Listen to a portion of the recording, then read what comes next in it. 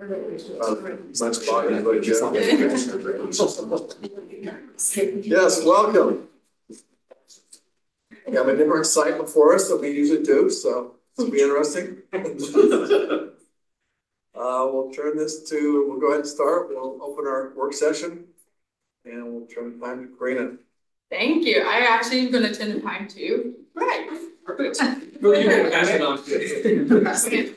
We're going. Pass it. We're not, we got a whole thing going for us, you know? Well, we're uh, we're excited to be with y'all today. Um, it's uh, it is wild to me to think that events is a year old, uh, and also only a year old. We've been doing this for forever. Uh, but we're really excited about what we have to present today. Um, we as a uh, events team, obviously Sydney and Karina, myself, and um, all, all of the departments really uh, pitch in on these. We set out a year ago to start to create a calendar of sort of community pillar events. Uh, we love Orem Fest and what that does, you know, the first week of June. Uh, it's just such a fun event. We were able to uh, add in our lights on experiences last year. Uh, we enjoy partnership with a number of other organizations that help us uh, bring events to life through the SCERA, through our partnership with IHC for the Fall Festival, or with University Place for our Touch a Truck. Um, and so we always want to be, you know, cognizant of the greater calendar uh, of community events and, and work with these other organizations.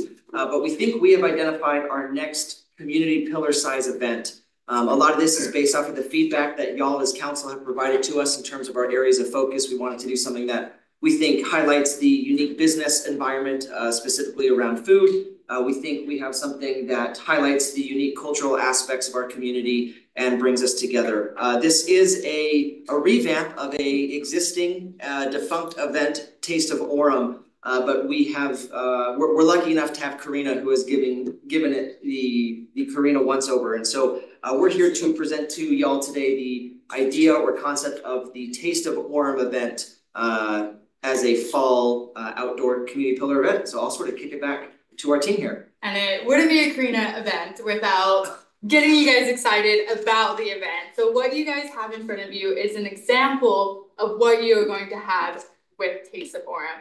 And so what myself and Sydney did is that we went to uh, many of the local businesses that we have, and we have a menu next to it of like um, the empanada that is from Asado. We have Holy Tacos. We have Fruteria. We have the Chubby Baker.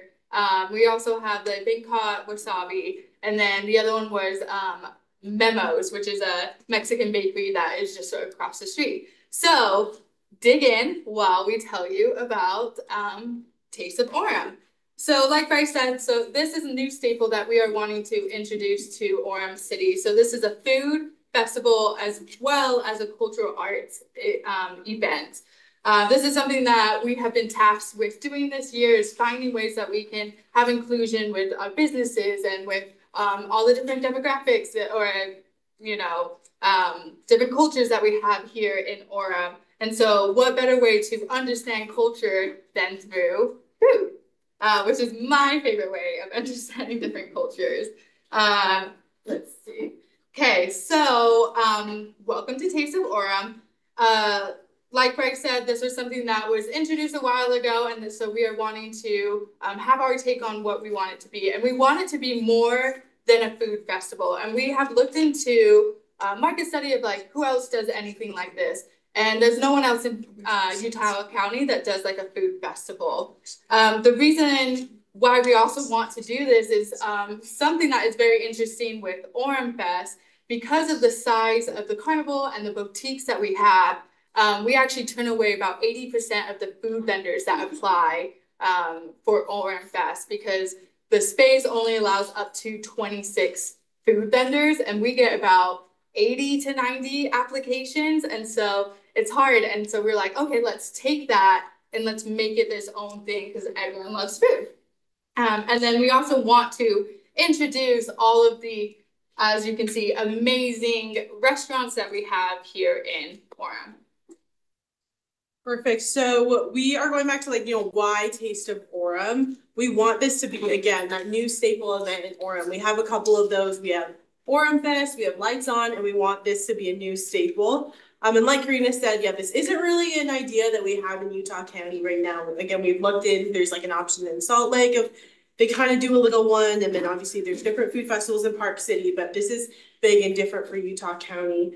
And then we want this event to showcase the different culture and arts expression in our city. We know that there's so much out there and that we know that there's a lot of people that are interested in a lot of this. They just don't really know. Um, and so we want this to help the local businesses as well as have that connection between us and then our residents. And then we just want to celebrate all these different cultures that we have. There's so many different opportunities.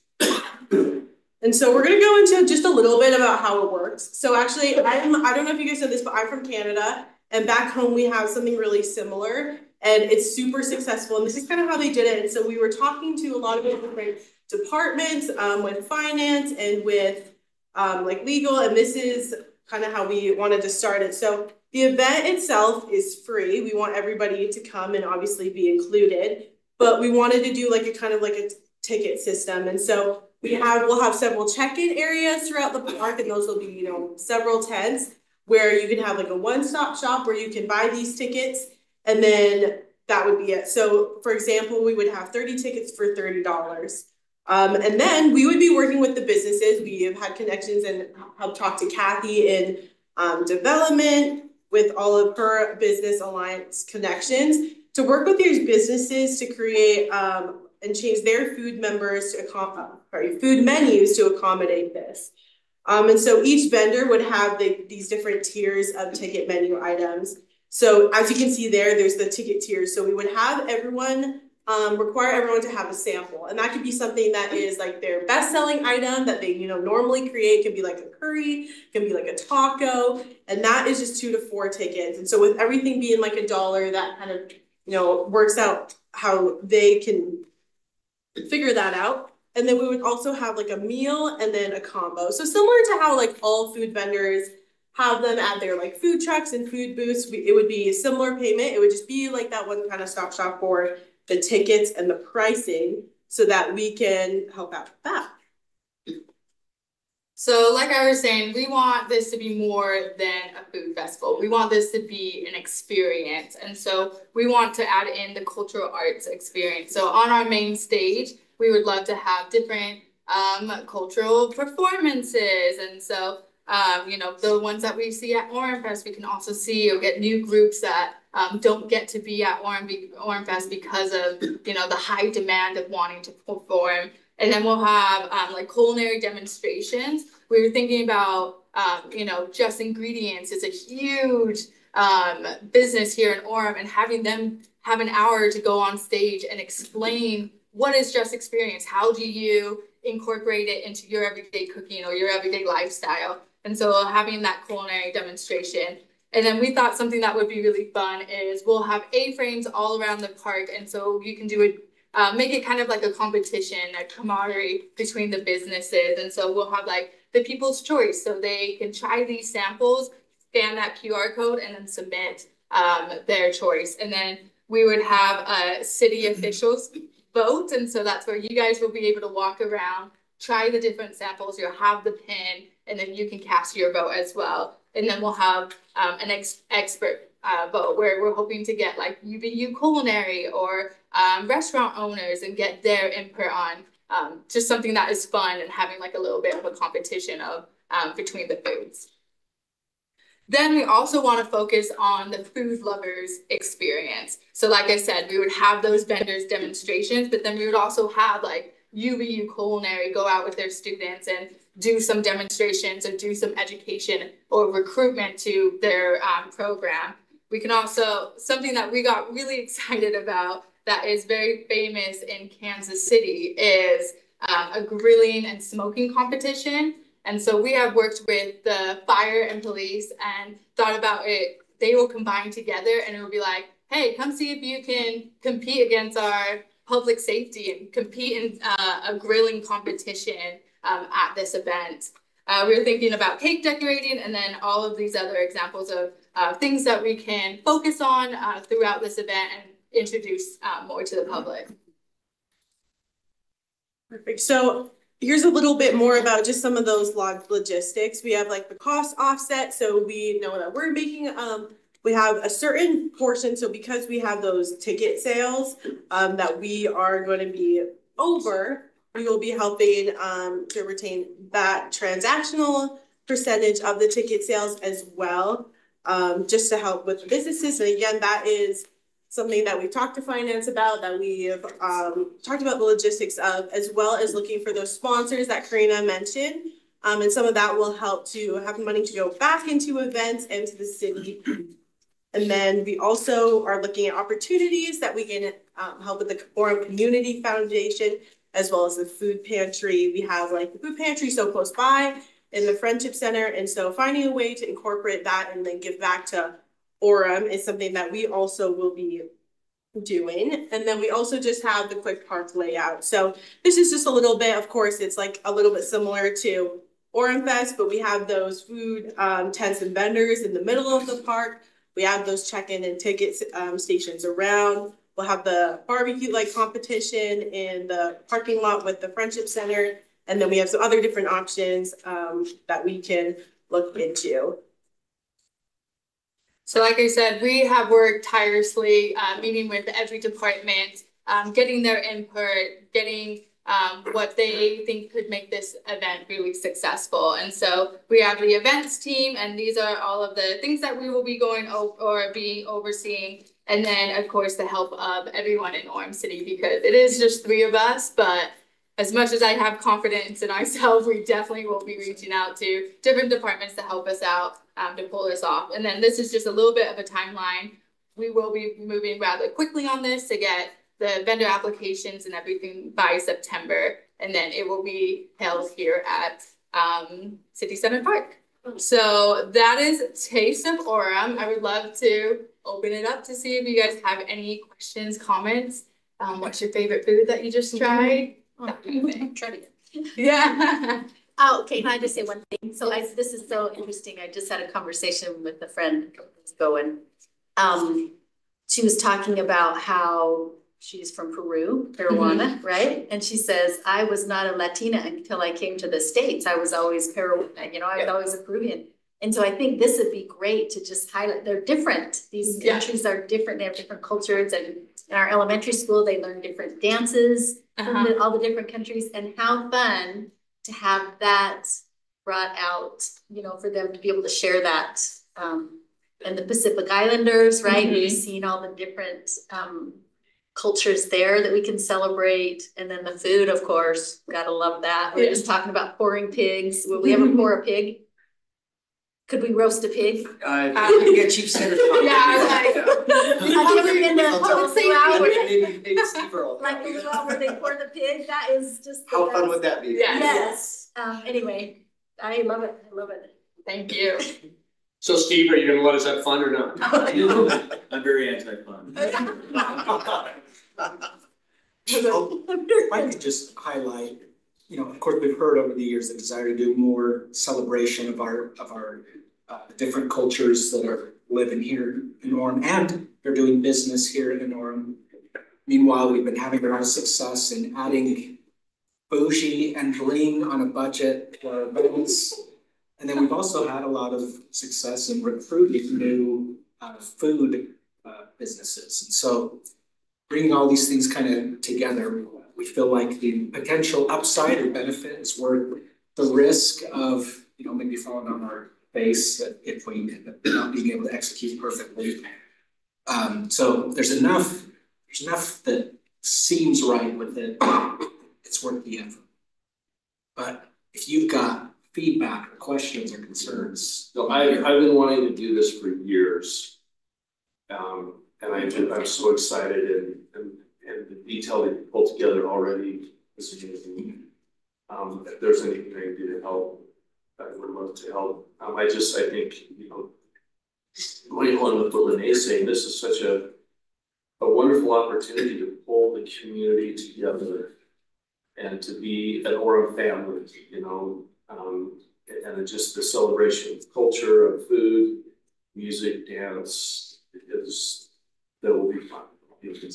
If Steve will let us have fun. That's all, Steve. Just even get- What's illegal? Knowing your track record, it'll be Yes. fun, no matter what. Thank you. No. Oh, yes. Just one other weird spin on. it. Have some kind of a competition or demonstration on canning, preservation. Mm-hmm. At the county fair, you've got food, uh, canning, judging and that kind of stuff. This would be a good preliminary event for that end, which is a different part of a different culture too. Yeah, that is a good And teaching the young kids how to can. I do not know. So that would be a good thing to do. No, thank you, that's a really good point. And can I add one more thing? Cause I Yes. should have added this when I said that before. And I'm learning a lot about the Scandinavian influence Yes. in our city, like from the, the Ava Carlotta story, right, the Pioneer Babies. Um, huge influence there. So I would like to have some of See, that yeah. opportunity to experience that culture too. Yeah, we're definitely trying to reach out to all of the cultures that we can, because we, again, we have so many different types of restaurants, and so we are doing our, we're, we're reaching out to everyone and see if we can hit them as. Perfect. This is looks great. yeah.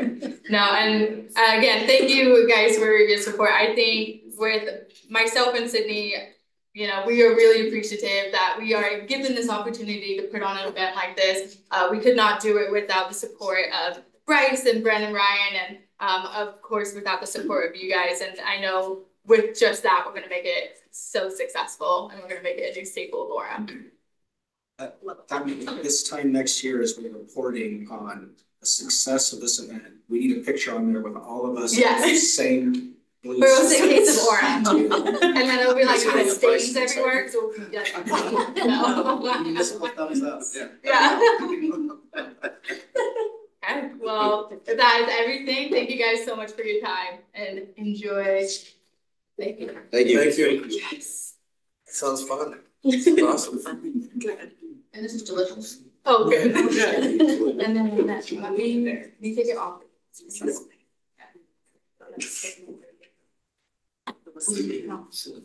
Do that screen. And York got jumping into Um, that's, that's what we're so excited, I think, we wanted to set the skeleton of the event, and then, you know, we had, I don't know if you had seen the box over on the side, I think we had gone into like a tailgating meets food experience over there, but then we could go the, we had talked a lot about preserving and canning and our garden demonstrations right there, we had talked about Dutch ovens, the grilling competition. I think as we put the announcement out that this is an event and we want the experiential cooking, I think the right ones will come to us and I, we don't have, we're not set on whether it's, you know, which direction we go. I think we'll just, we just wanna hear what's important to our residents and our businesses. And then we'll organize the event and the judging and all of that around it, but I love the idea of a number of residents going home with blue ribbons for Dutch oven and pres- preserving and and grilling and smoking. And a number of businesses, I think we've talked about making a really cool gaudy trophy that goes to these businesses that becomes iconic. We want something that they're gonna put front and center so that we know if it's, you know, Chubby Baker or Yonutz or whatever dessert, they want to have this trophy. And Yeah. and and so, yeah, we're we're really excited about taking it whichever direction it goes, you know, as as we hear from people. Can we bring Bobby Flay? Oh, um, I will email I will do my best. Shoot a quick Whoever- Yeah, I Whoever know. wins our competition. Yeah. uh, he gets him. it. Do my best. There are all kinds of competitions you could have, you know, I mean, like chili cook-offs in the fall, right? Yes, yes. Well, th- yeah, there's like Pie chicken, cook-offs. salmon, ribs, like there's so many different um ideas that we can go off of. That's why we have to do it all day so we can have a lunch hour and a dinner Yeah. hour. Yeah, Double double the amount of food we can consume in one day. exactly. Are you looking at doing mostly at the park? Yeah. School Yes. park? Yeah, we had, we had talked about some ideas where the event started here, and maybe expanded back to the brick and mortar restaurants over the next couple of weeks. Some of uh the other cities that we looked at did more of this tour of restaurants, but I think as we thought about, you know, some of the cultural art celebration festivals, some of the family activity, we we decided to bring the restaurants and businesses to us. We've seen it work for Orem Fest, and so yeah, well, I think we'll be at a park for this one. But again, as we work with the uh with Kathy and the Orem Business Alliance, we're definitely open to feedback as we try to make this, you know, sustainable year after year. Love it. Sounds good. Good. Thank you, guys. Thank you. Yes, I can see. Okay, next up, uh, number two, Bryce. Library Community Impact Survey. I'll slide over here to the driver's seat. Uh, thank you. Uh, again, Mayor and Council, uh, I just wanted to provide an update today. Uh, a couple of months ago, uh, through all of our social media channels, working with the communications team, we sent out a survey from the Orem Public Library uh, as a community impact study. This was a big part of our strategic plan that we spent last year putting together and really trying to solidify our library and where we're at and what we're doing well and what we want to improve on. But it was really important to us that we got some baseline data and information as to how residents use and interact with the public library. Uh, we also wanted to start to establish uh, that the library would proactively communicate. Uh, we have a wonderful story at the library. and We wanted to make sure that we were getting that story out to our residents and that they could understand the work that we were doing and how that was going. Um, as part of our project, our community impact survey, uh, we received four hundred and thirty-six responses to our survey. Uh, the group that we worked with from the RBDC, uh, then followed up and did a number of focus group interviews, um, on the phone or in person, just talking to these residents to hear, again, how do they use the library? What do they love? What are the challenges? Um, and this was really good, again, baseline data so that we could hear the median experience, not necessarily, you know, maybe the people that would wanna call in, or maybe that they're so involved, they love everything and they're a super user. We just wanted to hear from our residents. Um, and so we, we, we wanted to ask sort of two questions through this process. What was your experience at the library or with the library?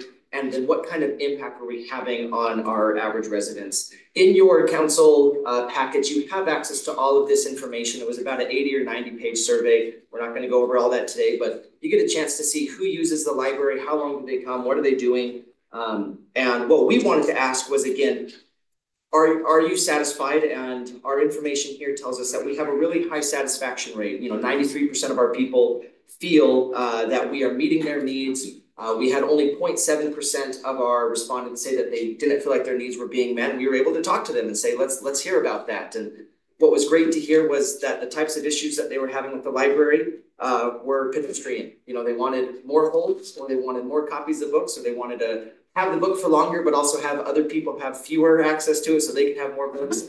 You know, that we want everything and we want more and we want it now. Uh, so it was, it was great to talk to him though and just hear these, these very day-to-day things that were important.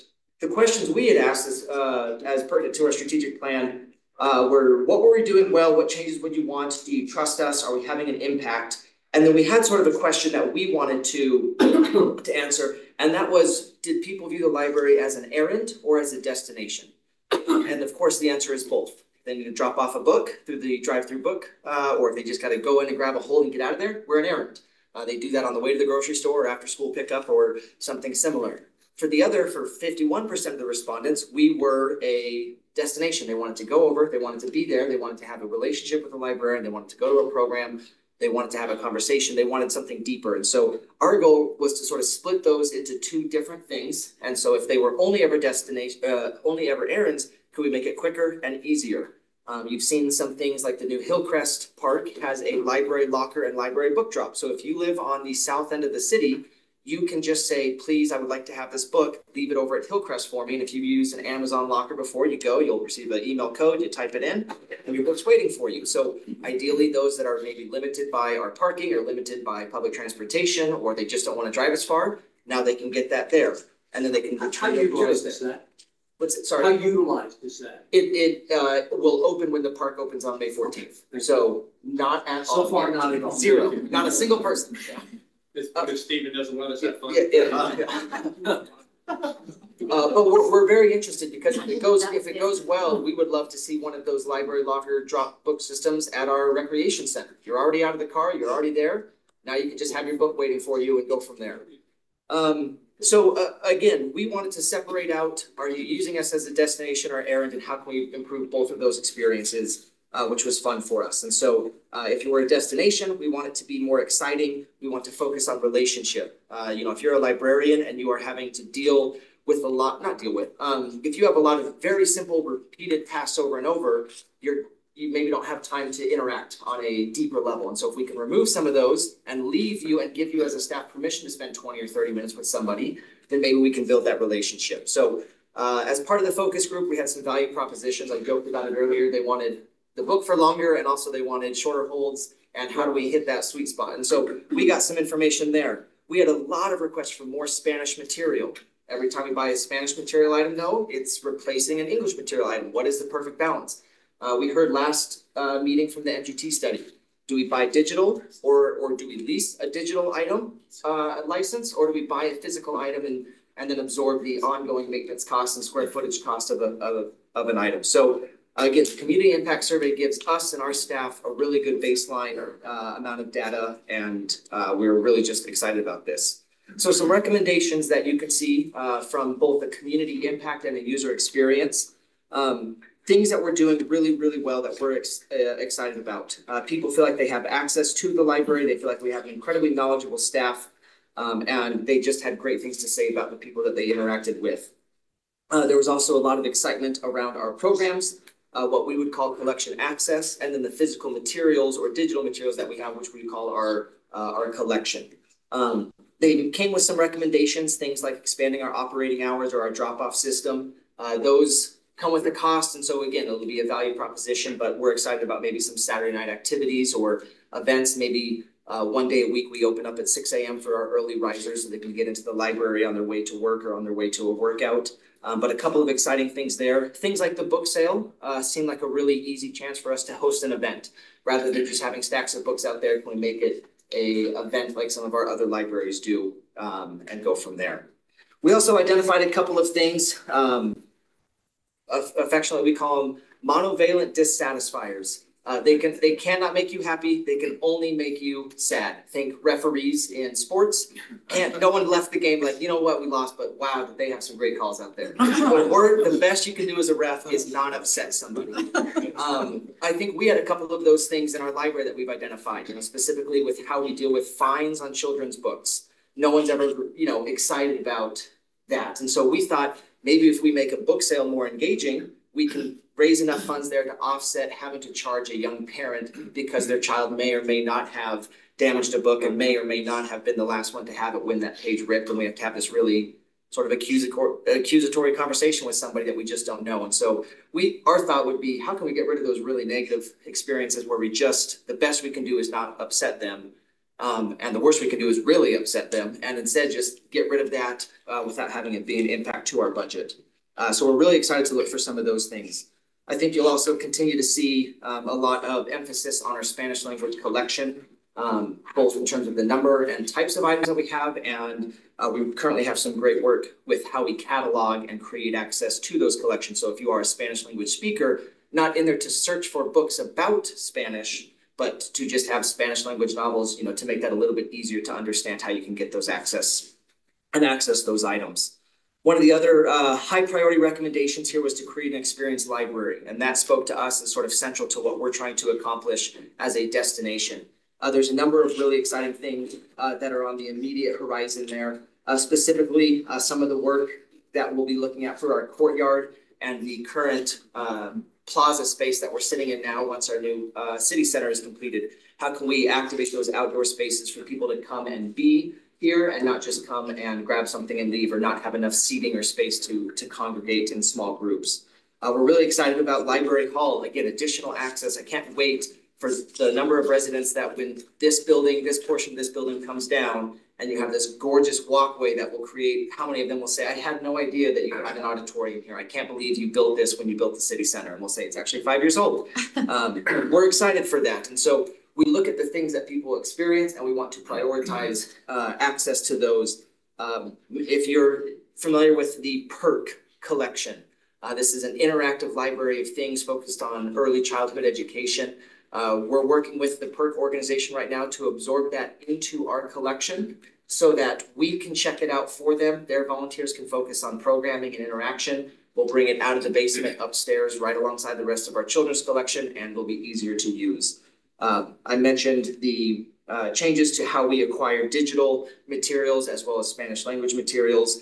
And we're looking at, uh, we're, we're taking a hard look at some of our policies that are organized and maybe saying, how can we make this more user-friendly uh, based off of some of the feedback we got here? Maybe our holds, maybe our fines, uh, maybe the number of items we have out at a time. Uh, where can we just really help families that are using this and doing their best and still collect, uh, protect the collection and protect our investment in the collection. We have, again, over four hundred thousand physical items. Uh, that represents a significant investment over decades uh, for our library. But also, collection is only as good as people have access to and trust us to use it, so we wanna make sure that they have a chance to do that. Um, that's it. Uh, the library is doing well. The library is important. It has a strong social impact. Uh, it is popular. Uh, we shared this at our last library advisory commission, uh, but during our first quarter, we had twenty percent more users, uh, user interactions than we did that this time last year. More people are coming in significant numbers and they're talking to our librarians and they're having those conversations and tho- those relationships. Uh, really excited about that. Um, uh, Linda Gallagher, she is our collection services, uh, division manager. Uh, she came up with our motto of Let's Library, uh, and so she's, she's been instrumental in this. Mike, uh, and Jamie, are other division managers as well, in both gathering this data, helping us ask the right questions, and then making sure that we're sort of primed to act on this, baseline data and, go forward with our strategic plan for this year. So that is our community impact survey information. Again, you have the entirety of it in your packets, but, uh, do you have any questions for us? I was just impressed with the depth and the breadth of your survey. Um, I couldn't get through all of it, but I went through a lot of it and I was blown away how much. You know, how, how far you dug down to get the responses and then to have the actual responses, their, their comments. Um, I think was helpful too. The comments especially, the, Yeah, the just to the see what- anecdotal. To see what our neighbors were saying about the library was, was kind of fun. Thank you, sir. Yeah, I was gonna say that same thing, the, the comments were very impressive to, to have them all listed in that, in your packet there, to have taken, you know, to everybody's thoughts, I really appreciated that. Um, I have a few things. The PERC center, thank you for doing that, for extending the hours, I think that would be one of the biggest frustrations, I, when I discovered that, when I had young kids, little kids, that was amazing, but then it was difficult because it didn't have consistent hours, because it was based on volunteers, staffed by volunteers through. Anyway, that's fantastic for doing that. Um, one comment on the Spanish um library. So um that has a great need for, we have so many students in our community that are doing doing dual language immersion classes. I ended up, back then, their library didn't, when my kids were in it, didn't have a lot of those, so I just bought them through Scholastic Books or whatever, those early readers and the Magic Tree House and those books. So I guess I would say, let's do it for the the native community, but also think of this, I think we'll be serving this other community also as we pull more of those um books in. And I hope it isn't a switch off, I hope we don't have to pull a book to put more of those. I hope we can just increase, increase that. Um, and then my last comment, when I read through that, I saw someone say, story time. Ten o'clock is a tough time. When you have young babies, they take their naps at ten and two. And so until they shift to the afternoon nap only. But the ten AM time, um, you know, my kids were just falling asleep then. So I don't know if you can figure out, it did have the, they were going to address that, I noticed in the study.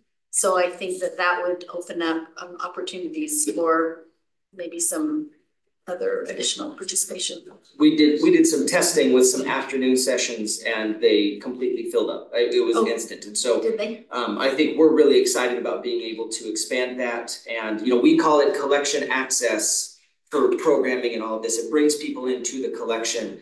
And so I think we're realizing that that shift towards programming is not a loss of books and librarianship admission. It's bringing more people in to have access to it. So uh, in the budgets that we submitted for this year, uh, you will, you will see a shift, but not even a shift, to your point. Uh, some, some cost savings on personnel allowed us to expand all of our collections, uh, budgets this year without an increase in our overall budget. And so we were able to not have it be a trade-off right now. Uh, we were just able to increase every one of our collection budgets and our programming budget so that we can have those types of programs So is there an opportunity to do like, I mean, a nine AM Yeah. versus the ten, because then the kids can go and hear and then they're tired, you take them home, and they go take their ten and two o'clock. Um, plus, can I say one other thing, Miss Orem, I went, when she read to the kids, she had an activity where she went in and read in the library. That was so cute because it was the older kids and she had them doing activities and standing up and dancing and talking to their neighbor, just the whole, what you guys are doing there was really great, because it wasn't just learning about, you know, reading and learning. They uh encouraged interaction, so tell your library staff that was a. Perfect, thank you. So LaNae mentioned something about, you know, we all bought books when our kids were younger. And is there a line of book donations that you don't wanna cross? And, and, and I mean that like, you don't want everybody just bringing all their stuff out of their garage or, you know, from nineteen seventy, whatever. But, but would that be a helpful thing? And I know we've done kind of book drives in the past, is that something We, that? we regularly receive, maybe, maybe not hundreds of books per week. And then those that don't meet the quality or needs of the collection are taken to the book sale. Um, and if they're not sold there, then they are donated. And so we're able to accept everything. Okay. And then again, if, if based on the librarianship principles, if it doesn't muster added to the collection, then we are able to take it to the book sale or or go on. So, yeah, we encourage residents to bring them by. That'd be great. Can I just say quickly that I love that that Bryce and our library management are doing this. This is when you have something that's so directly engaging and interacting with the public, of a service that does that. Then you want, in order to be in a, with an attitude of continuous improvement, you need to get good information to then make good goals moving forward.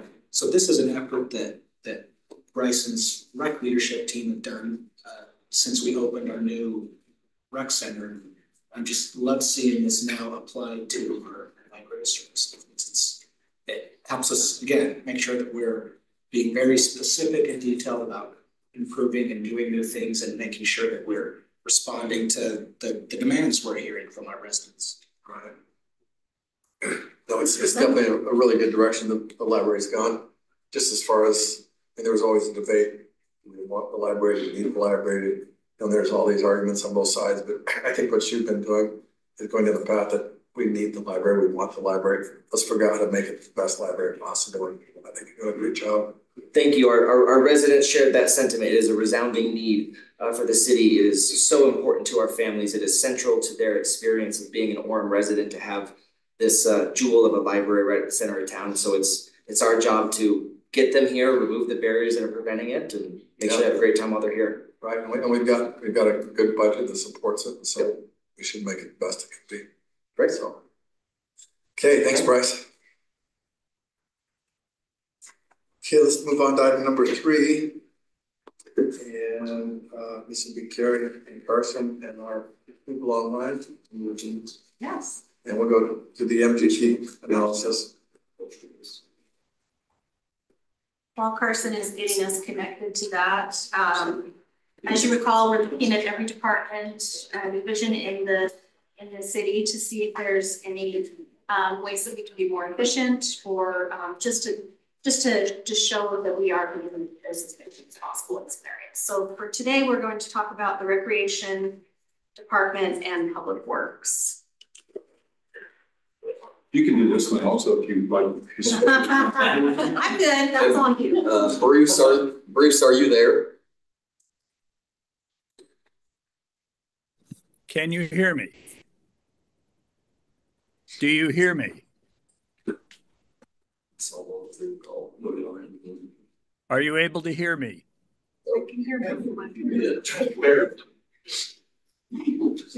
You said, you said yes or barely? I think everybody, this is funny.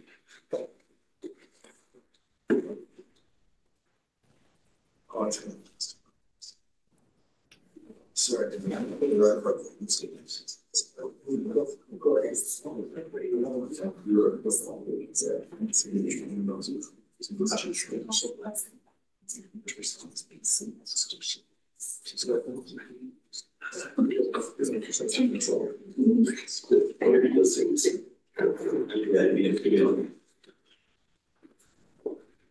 Bruce, can you try speaking again? Are you able to hear me? Faintly, and there's some feedback. Uh, I'm on the phone. I'm. Hang on. On the phone, that's what it's see.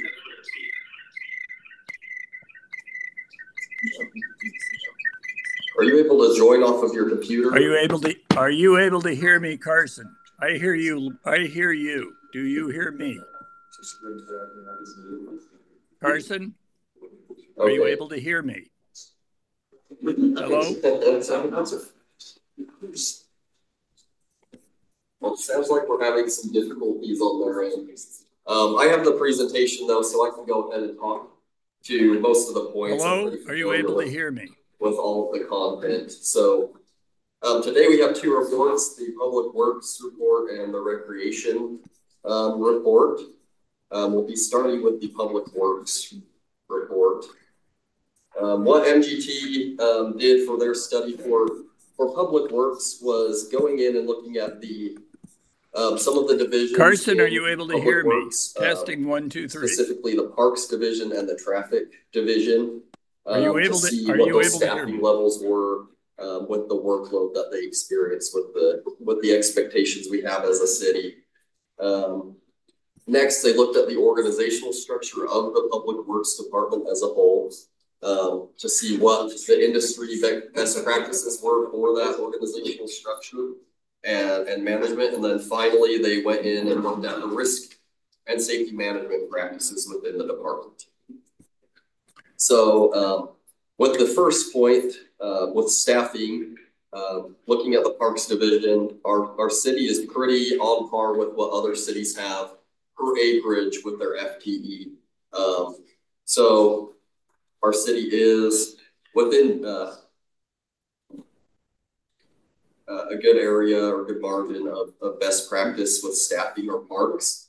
Um, Carson, can I just add to that? I think, Chris, you could probably identify that we've done a shift in some of our positions for seasonals. So we exchanged about, uh, I think it was ten, uh, ten FTEs that were seasonals. That were working around a thousand hours a year. Uh, we cha- exchanged that with about, uh, the equivalent number of full-time employees that are benefited. So one crew leader and four, uh, technicians.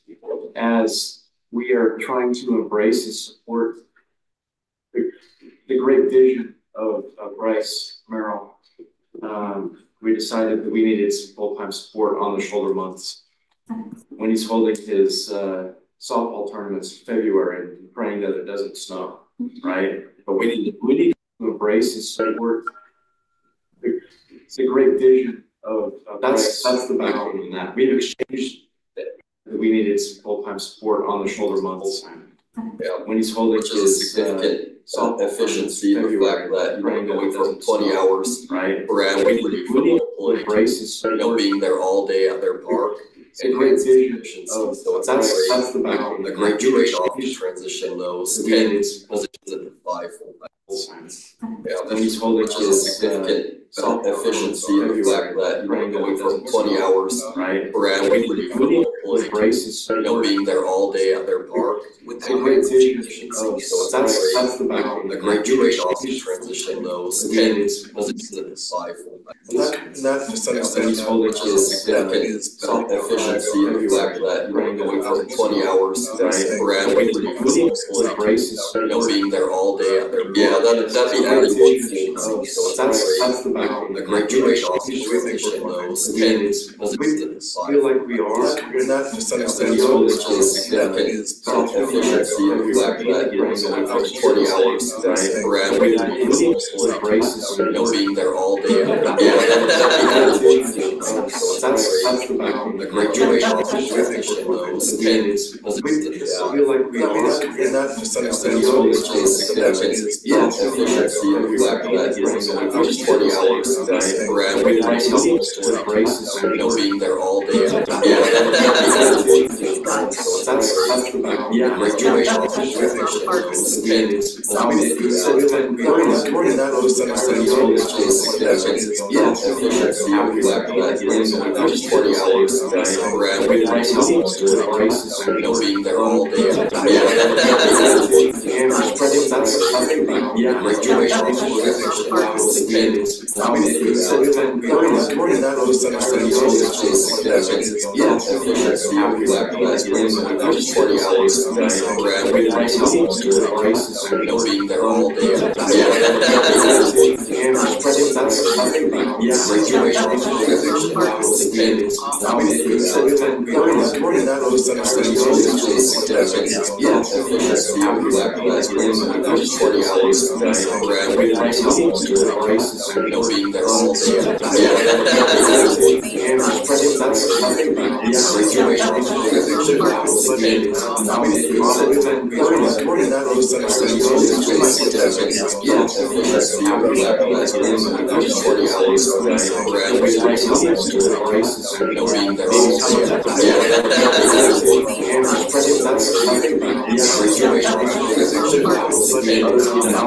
I'm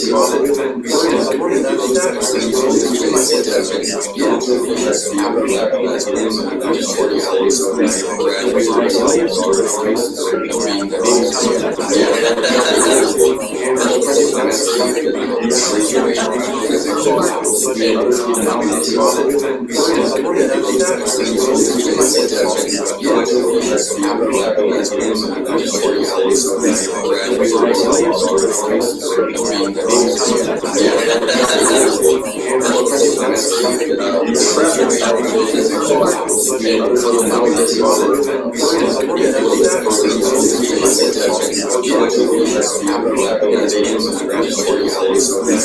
going to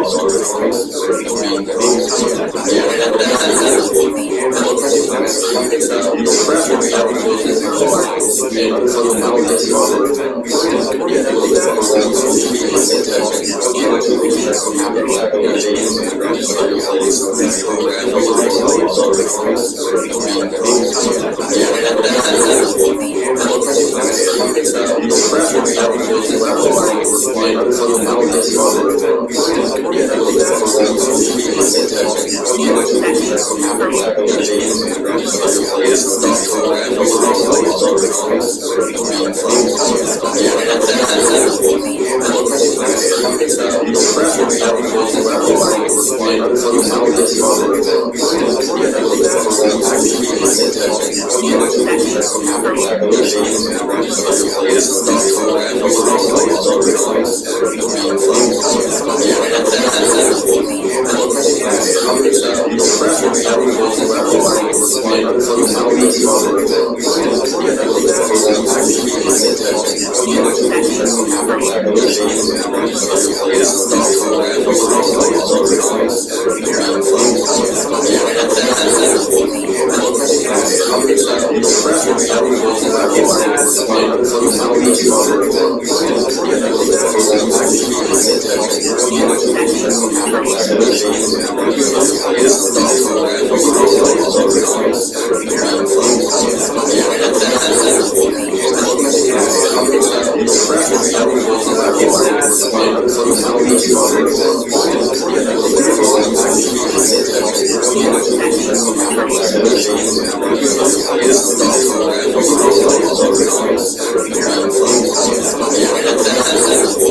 I'm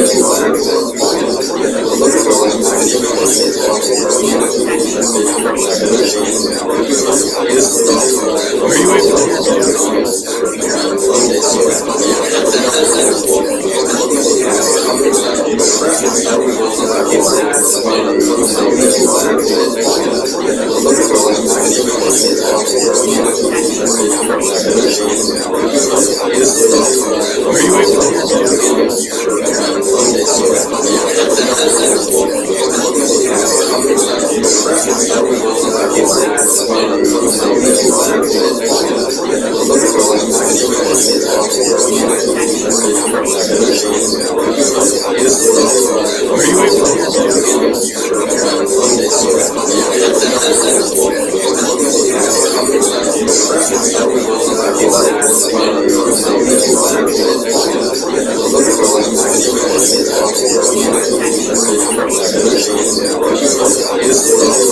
you able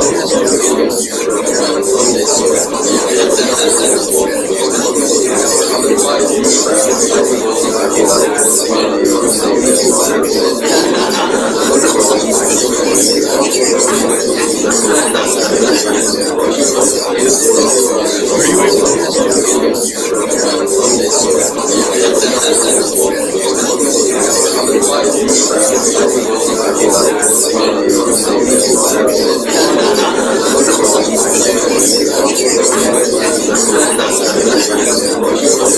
Are you able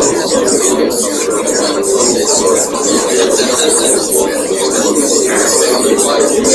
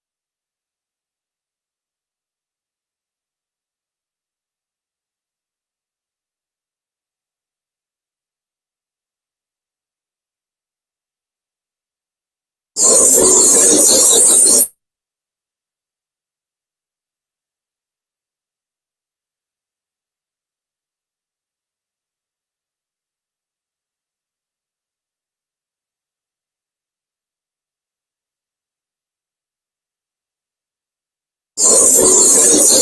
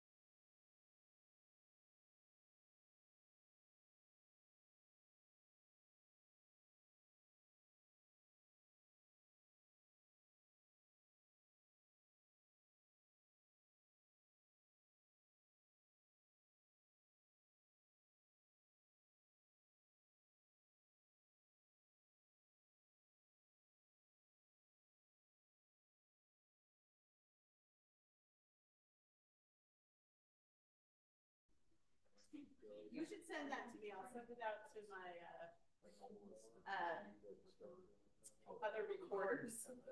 Okay. Because one of the I don't wanna send it to you, of course, I'll send it to your cell phone. Yeah. Like, yeah. so, right there. Oh, that one, that's my. Yeah, I don't want. To. It's- It will be like, what is? You, tell me if it got, if it came through when. Oh, it's, it's in there. Somebody posted that on their Facebook. they're not cute. The most that, the most we've had lately, are like. Uh, no, no. No, What's that? no stranger or, it'll be that one, selection. Okay, go ahead and close that and I'll connect and look at the level underneath, but I think overall, I think, I, I saw levels coming in from five, too. Probably. with- Whatever new thing. New thing he So had. that, I see it's. Yeah, I'm gonna get the laptop. One, one. What are we thinking? Is it working? It's not my favorite. Yeah, we, yeah, we can see levels and hear levels, we just need to check with them. Okay. We just didn't want to. Yeah, yeah, that's- Well, that's the reason. I did print out the slides so I could still present and make copies for everyone. Oh, wow, you're prepared. Yeah, that was the idea. You knew we were trying to sabotage you and. Well, no, I came yesterday with Pete, Pete, I came, made sure it all worked, make sure I had the right stuff. You never know. No, you never know. And if we do, we'll just, I'll send you to print that, one for every. So I'll go get my. Well, we're excited. Is Heather Oh, here? Carson. Is Heather gonna be with you? Uh-huh. Oh, I haven't Yeah, seen her yeah. today. Carson, this is Taylor. I think we Taylor. met. Yeah. We Okay, have met okay, before He's- you finished okay. your term out, I Yeah. think. He's great. So I, I do miss you guys. I miss, I miss the staff. a lot. Well, we still get to interact with you at, on occasions like this. And I'm on Ormfest Parade Committee. I'm also one of the four. Oh, of the see? parade. I'm over volunteers and garbage. I don't know what that means about me, but. Right. It, it's possible it went into like protect mode if we had that much. feedback. And it was some guy's computer. Yeah. Oh, did he have his phone standing like this? Oh, I love it when they do that. So good. Really? Uh-huh. Do you think they moving to Unix takes out some of the problems, make it a little more simple and comfortable? Well, it removes Zoom from being your backbone, just like, right? So Zoom's not the backbone. You're not dependent on whether it's Zoom. It, it comes down to like The operator. the oper, the operator having the ability to just say mute for now. Now, if you bring Zoom into the, Zoom can still break. Yeah. There's no getting around. I think it's the break, but But your meeting can continue. we can route around because the Yeah. whole point of the piece, is you have access to every. And you can control it on the fly, like right now, the way doing them, yeah, the line only have a mission board, the automation credits. So okay, like with, with the Unix setup, useless, maybe outside. Yeah, yeah, To an extent, yeah, I guess the audio. where, where your video is routed through QSys, Mhm. right? There, to an extent. Unless they're. But then you're, then you don't have any automation. Yeah. Then everything. Like all of them, you put in. I mean, it's, uh, That's one of the problem. So. So Mark, are you, are you here on behalf of the LDS Church, Giving Machines, or what's your? Yeah, doing the giving for that. There you go. And, you you can split. Thanks for doing, Thomas's Way Community Action, who are our other ones? Yeah. Oh, we find those? And then you could, right now, can split it completely. The refuge, we find those? Because you put- Those are also in a way. And those. I need a lot, of over here. Remember the giving machines? Yes. Because these are the half of that. have their own. Yeah. It's cool. Yeah.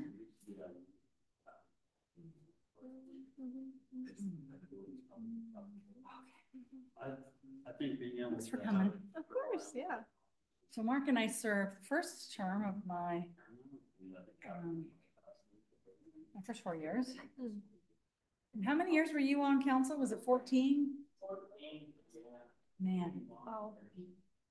You're always gonna have to. How long did you go for? Eight. Eight. I thought I might go twelve, but it just got a little too, uh, Four years is kind of long. nasty.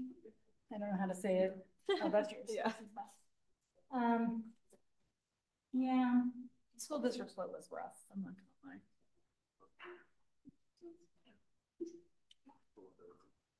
Hmm. You ever seen such a trouble system? Yeah.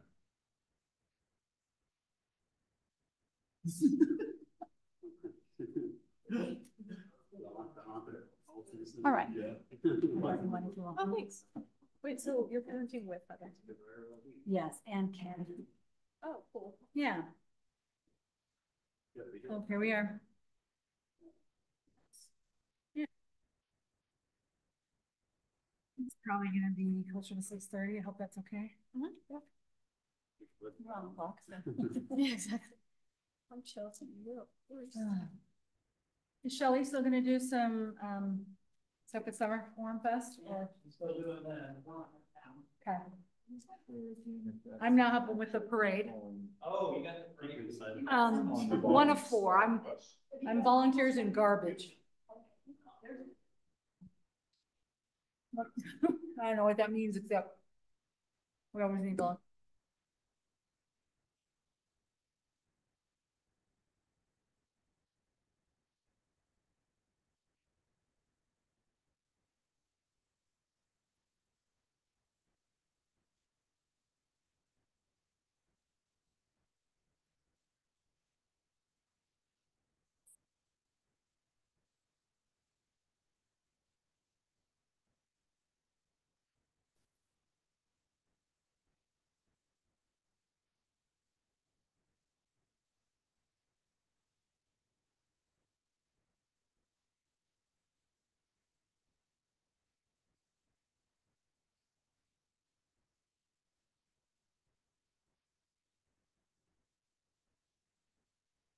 Yeah, I think, the- I think the old cars were great.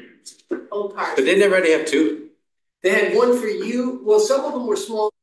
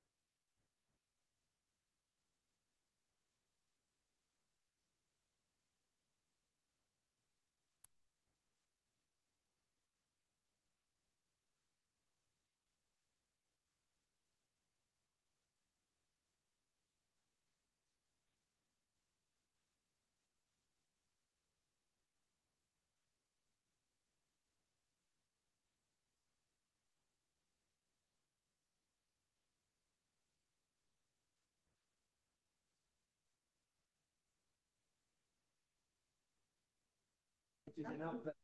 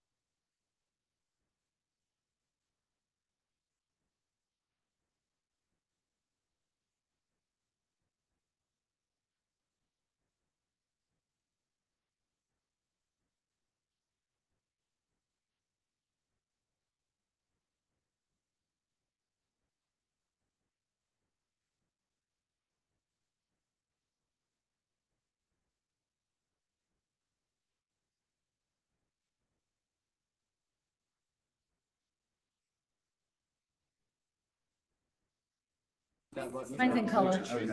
So sometimes. Test, test, test.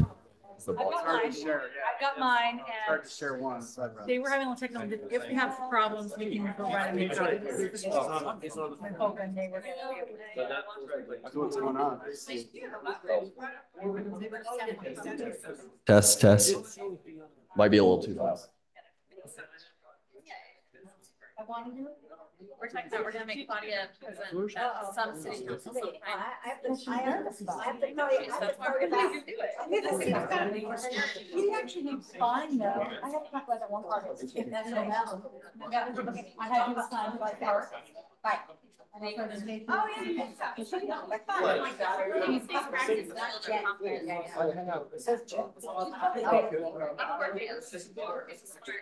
Yeah, confidence. yeah, yeah. It says Jim. Yeah. Ken, we should give you the, how many times you prevented, presented? I probably have seen you during COVID, we saw you about every. Probably got three times. Twenty times. Oh, you use a record. Oh, you were black. And then been doing, yeah. Uh, this on before. He deserved like. I agree. So thirteen thirty. See this? You're good at it. Yeah, absolutely. They had it on their wall. Well, you probably see the ebb and flow projects, kind of, I don't know if you like having this. Year after year, kind of seeing the mayor. It is good.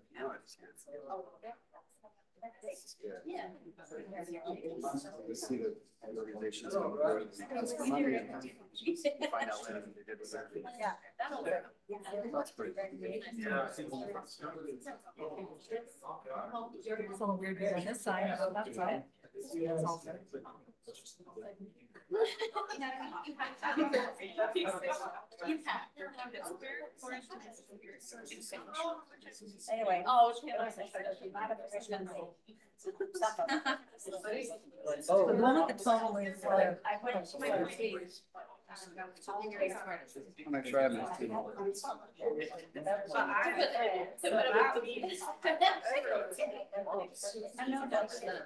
this one should have a total.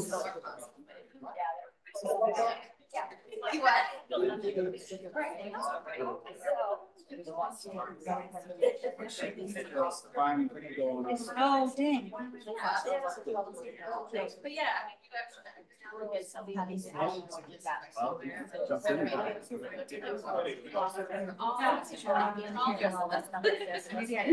We're gonna give all those away first. We haven't-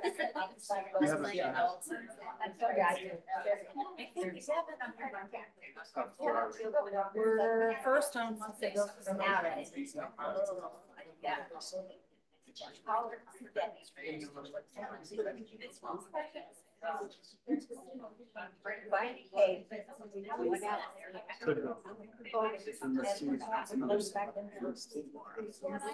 Mayor, Mayor Pro Tem does. And then the other ones just rotate every six months. Yeah. They don't talk,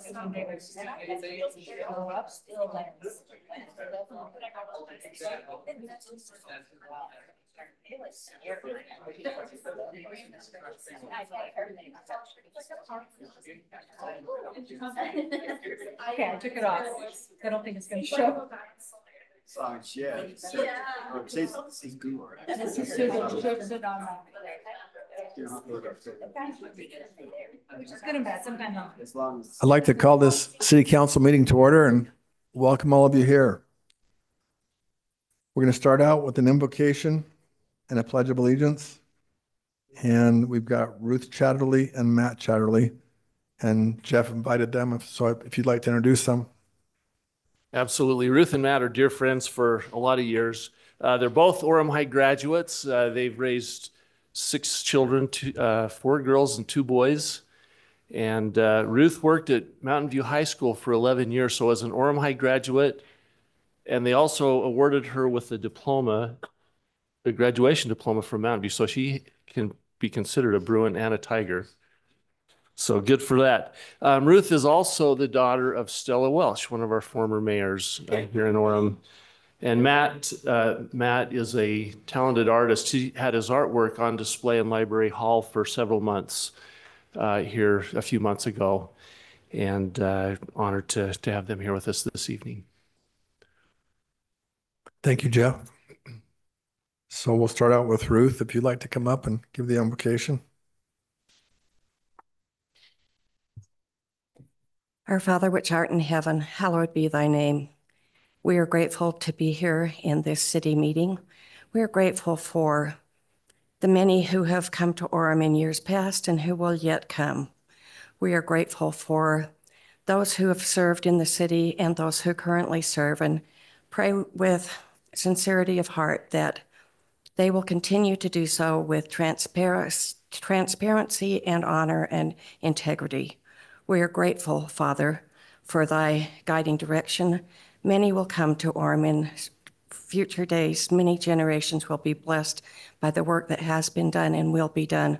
And we pray for the foresight and honesty and direction that this council may give and pray for thy guidance and love to be with all the citizens of Orem from whencever they come and from whatever culture and region they come from, that they will have a home and a family here in the city of Orem.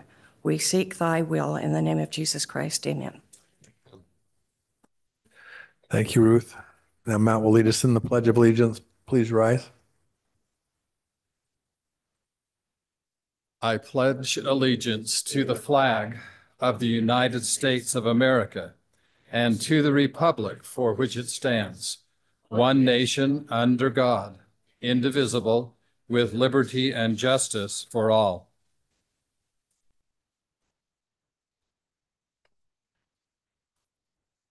Thank you.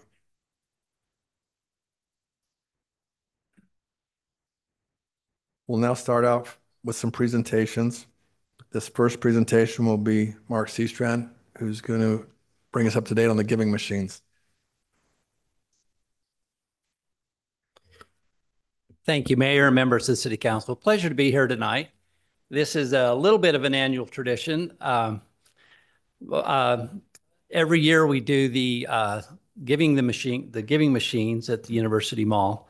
And uh, at the end of the year, we like to just have a way to say thanks to so many people that were so involved in the process. So this is not a toot your own horn event. This is a chance to say thanks to the city council and to Orem City and the community, as well as to be able to say thanks to some really big, uh, important volunteers and organizations that help make that possible. Um, this year was our fourth year in Orem. Uh, started in 2019 and we did 2021, 22, and 23. Uh, this year was our best year that we've had in all these years.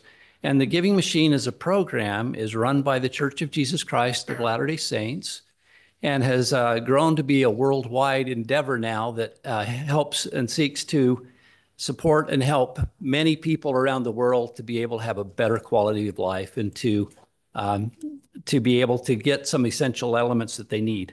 Uh, the Giving Machines this last year were in 61 cities in seven countries, including Canada, Mexico, Guatemala, Australia, New Zealand, Philippines. Over 600,000 people participated in giving and donating through the Giving Machine process. Three hundred and fifty thousand items were donated. Two hundred and fifty local and global nonprofit organizations were involved in distributing these, uh, these necessities. We find that they are closest to the action, and by helping them help their constituents is a wonderful way to make the program work. Uh, these, these charities were international as well as local, and we were privileged to work with uh, a number of local charities here as well as with a couple of organiz- a couple of international organizations. Um, we wanted to just recognize four kind of groups of individuals or that have been been associated with uh, with this. Um, we had a number of local partners that helped make this happen. Our first and foremost is uh, uh, Cindy Nee from the University uh, Place, the University Mall. Cindy, come. I'm going to have you stand over there. The University Mall and University Place, the Woodbury family, Rob Callis, Cindy, uh, Jared, have been super involved in making this a really the best location in the world for the giving machines.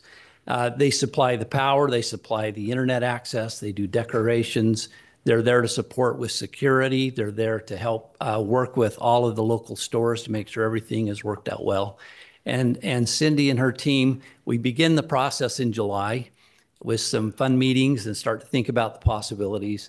And then it executes. And for some reason, working with the University Place just goes without a hitch. And so we want to just really thank Cindy and the whole University Place team for their efforts in, in uh, joining us in this endeavor.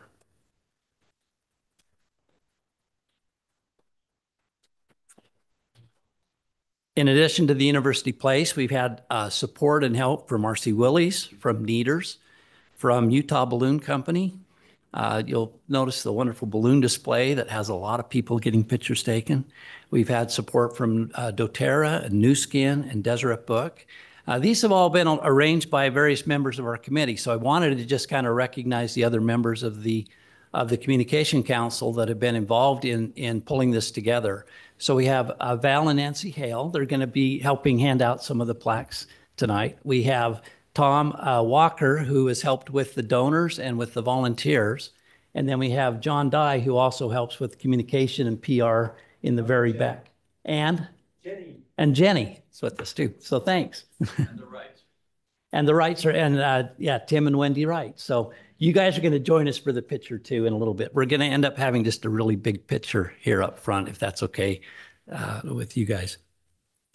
Uh, the next thing that we wanted to thank, so besides the sponsors and all those that, that come to make that work, uh, we have volunteers. Um, the giving machines opened up on November 20th and we're in business until January 2nd. Uh, we only missed a couple of days in there, Christmas uh, uh, and uh, New Year's for a couple of that, we, or Thanksgiving Day actually, I think was the only one that we had off. But to man the machines, we usually had four people there all the time. Uh, Tom Walker was in charge of, and, and Tim Wright were in charge of making sure we had volunteers and coverage. In total, we had 651 volunteers donate many hours, 2,154 hours in making sure people could uh, use the machines in the way they wanted to do, and the machines ran uh, uh, faithfully. A lot of those tiles would drop down. We'd have to refill those machines on a regular basis. So I just want to say thanks to the volunteers for making this work.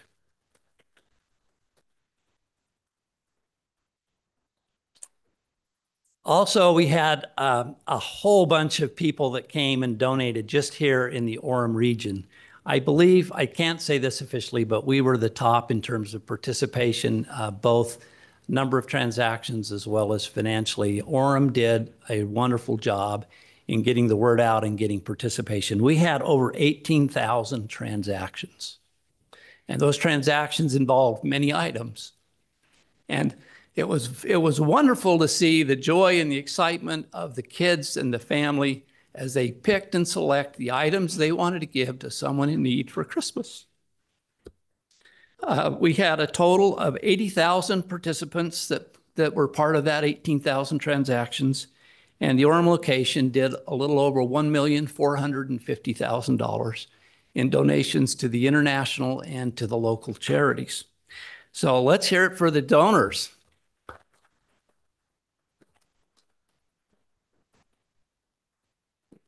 We've invited them all to join us also on the, oh, just. no. Uh, Curiosity, how many in the room donated to the giving machines? It, it, I mean, that's just the, the nature of, ex- and the extent of the, of the generous, wonderful people here in the community that give freely. And then I wanted to now recognize the charities that this is where the real work takes place. So we can, we can uh, uh, uh, generate the income and, and get the donations, but then giving it off to the charities where they can deliver these goods to the individuals is, is, is pretty significant. So I've asked for a couple of people to help hand these out. We'd like to start off with, uh, is Sam Lee here by chance with Africa? Sam, come on up. Sam is here with our international charity, uh, the African Girls Hope Foundation. If you watch the video, his organization is the one where the, where the young women were dancing and singing in their school uniforms. So we are presenting to, um, to Sam and his organization. The community donated 685 uniforms and 1,447 Chromebooks. So not only can they go to school with the uniforms, they also have technology to really help them advance in their education. So congratulations to, to the African Girls Hope Foundation and thank you for the work that you do.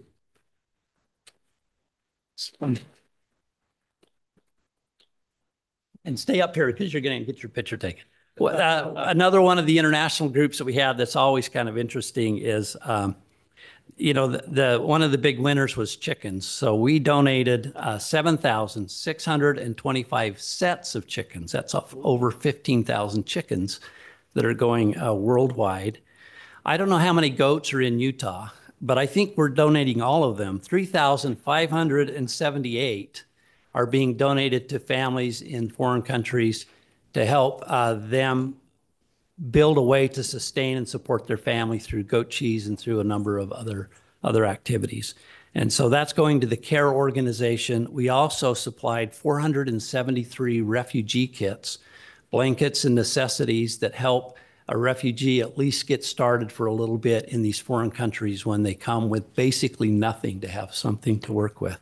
So that's with the CARE Foundation. Uh, is Scott Johnson here with the Boys and Girls Club?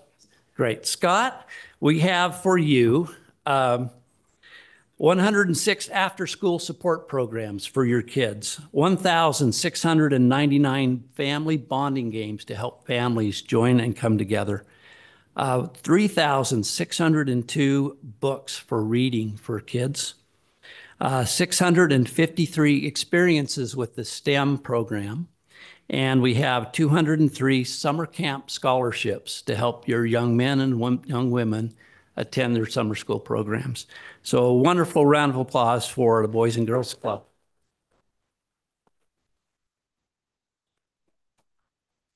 We have Tom Hogan here from Community Action Services.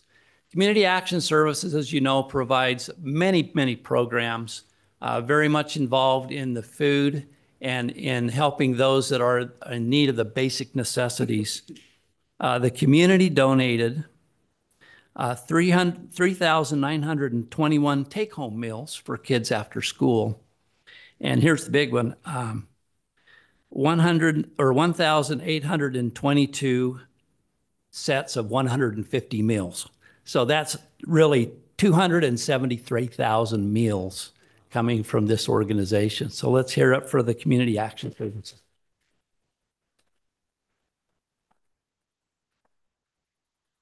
Uh, Tabitha's Way is also one of our food organizations. I don't think they were able to make it tonight, but for Tabitha's Way, there was 20.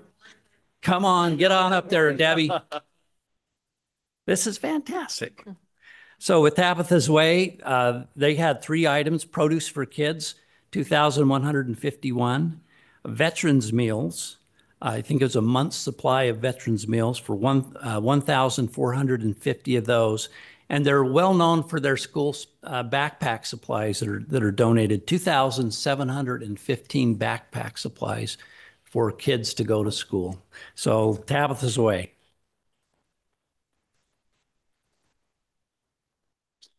Is Ashley Taylor here from the refuge? Okay.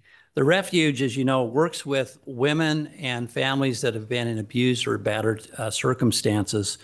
They received a, a significant amount of support to help in their very uh, needed uh, causes. So for after-school supplies for young children that have uh, have gone through some serious domestic challenges, 856 after-school supplies, 3,767 blankets and comfort items. Kitchens in a box, 568 of those. Uh, safe shelters, nights at safe shelters, 542 nights. And then trauma support kits to help the whole family, 817. We greatly appreciate the Refuge Utah and the work that they do.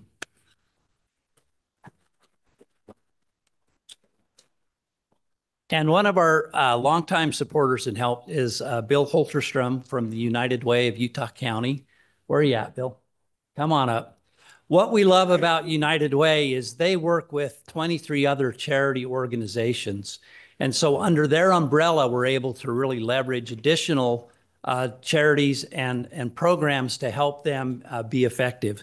So to the United Way, we have uh, the RAW program, RAH, and uh, uh, Cheryl Adamson. I think you're here, right? Come on up, Cheryl. With RAW, the, they received uh, 573 adaptive art supply kits for their chil- for their adult children, as well as the family respite time of 293 hours of respite time. We also have Family Haven, who is a wonderful organization locally that works with families and mothers. Uh, is uh, Janelle, uh, is it Christensen? Yes. Hey, all right, I got it right. Uh, Janelle and the Family Haven are receiving ab- abuse prevention classes, 157 of those, as well as therapeutic books for their clients, 355. And then United Way, in addition to that, is receiving art classes, 686, hygiene kits, 1,144, mental support for moms, 533, and new baby kits for those brand new infants, 2,538. In total, uh, over $600,000 worth of goods and services and chickens and supplies went to international, and over $850,000 stayed locally with this wonderful group of organizations. So I really appreciate uh, the work that they do, and I would love to give them a big round of, of applause, as well as have the mayor and council join us for a wonderful picture here in front.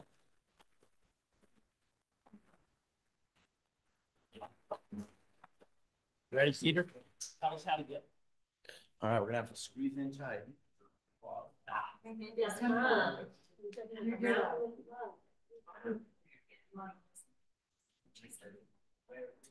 Shoulder to shoulder.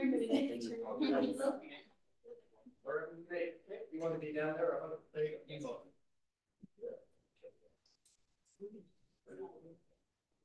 Get your wide angle lens. That's right. All right, here, okay.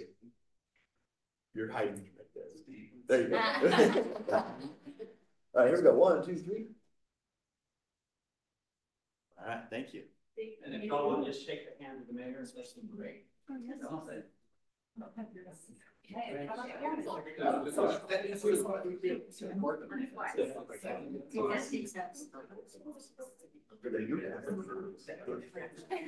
please. I'm happy to give you some Wendy and let you get. Go ahead, that'd be great. Okay.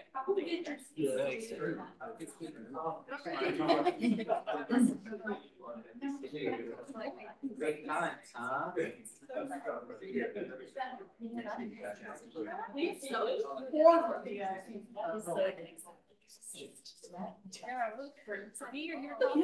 Oh, I'm on the board, I can accept that.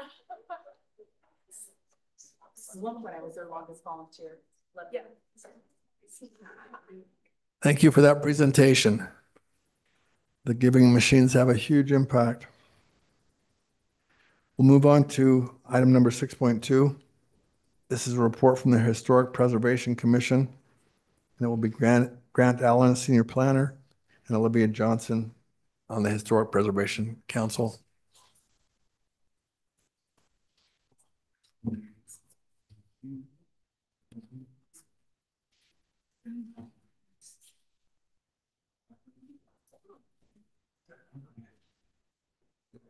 Mm.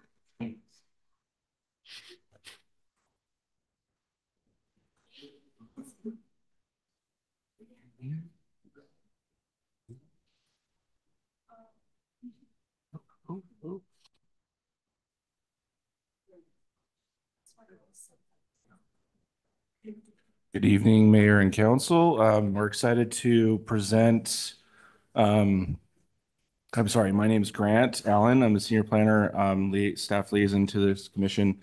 Um, and I've got Olivia Johnson to my left and Devin Pierce, um, our co-chair, um, or vice chair, I should say.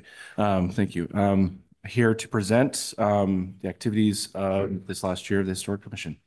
So Olivia, if you want to go ahead. Uh, Thank you, Mayor and Council. It's been a busy year for us at the Orem Historical Preservation Commission. We have accomplished a lot and we have a plan to continue to accomplish a lot for this city. Um, First, it's, we are now a certified local government. So the commission is active for the first time in over 10 years. Um, And we were established in January of 2023 or shortly before that. And then um, it's designed to promote historic preservation at a local level. This is a federal program through the National Park Service and administered by the Utah State Historic Preservation Office, which is we call SHPO. Um, and qualified local governments become certified and are eligible to receive matching grants from SHPO which we are glad to say that we did receive. So in January 2023, the commission applied for a grant with the State Historical Preservation Office, and the grant of $10,000 was granted and was is going to be used to survey the, a portion of Orem. Um, the area that was decided on is from 800 north to 6 16,000 1600 north and between 1200 west and state. Um, also, we are including a special interest in schools in Orem that may qualify for historical preservation. Um, we also have been working a lot with UDOT. UDOT has started the process of expanding 1600. Um, they provided a survey of the houses um, on 1600, but up from between the freeway and up to State Street um, allowing for us to remove that area from our um, survey and apply that grant money to another location here in Orem.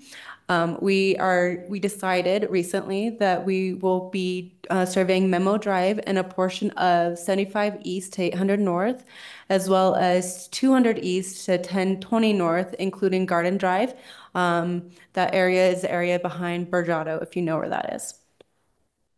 Um, and this area will become a new historical dis historical district here in Orem. Um, it was proposed that the area included in Memo Drive um, and the previously mentioned area qualifies to be a historic district, and this area was developed post World War II and shows historical relevance to post-war Utah and Utah County. Um, so that's very, we're very excited to start working on that and getting that designated. We also got to work with the Eva Carlotta Anderson Memorial Garden. It was proposed that uh, a piece of land be developed as a memorial garden um, here in Orem. Um, because there were pioneer era remains believed to be on the area of um, infant children whose mother had buried them there. And this area will be used to make a memorial garden for women who have lost children and loved ones. Um, we've also discussed the Orem Pioneer Cabin. This one is very fascinating and very interesting to a lot of us. As a lot of us know, um, I believe it was in 2020, um, a pioneer cabin was discovered in the walls of a home here in Orem. And it has been put upon us to decide to what extent that cabin is restored and where it shall be located. And we are currently um, exploring national, the National Historic Register for status of the cabin, and it will be placed at his, uh, Heritage Park. Um, and we're still discussing ideas as things become um, available to us, if that's where it's going to stay or if it'll be placed somewhere else. Um, our commission, we do have been doing some tours of places in the community so that we can um, get a better idea of what we are trying to preserve here in Orem. We have toured the Orem History Museum, which is an excellent resource here in, that we have um, about our local history. And then we will be touring later this month the Olmsted Power Plant. And we're excited to see what we can learn from these historical sites and how to continue to preserve, preserve them. And we also are trying to figure out using these tours how to get the community further involved in local historical preservation. Okay. Is there any questions from any of the council on any of these items? Deborah, did you have anything to add? I'll say something. So I was on this commission last year, right? Mhm. You saw, as you guys um began the arduous task of creating this commission and identifying what was important in Orem and just building from scratch. And I just, this is fantastic what I see you presenting here because I saw the beginnings, right? Where it was, we were trying to figure out. We knew what we wanted to, do, we didn't know how to get there. So thank you for your hard work. This is, looks fantastic. Thank you so much. Thank you. Thanks. Thank you. Okay, thank you for that presentation. We appreciate all your, all your good work.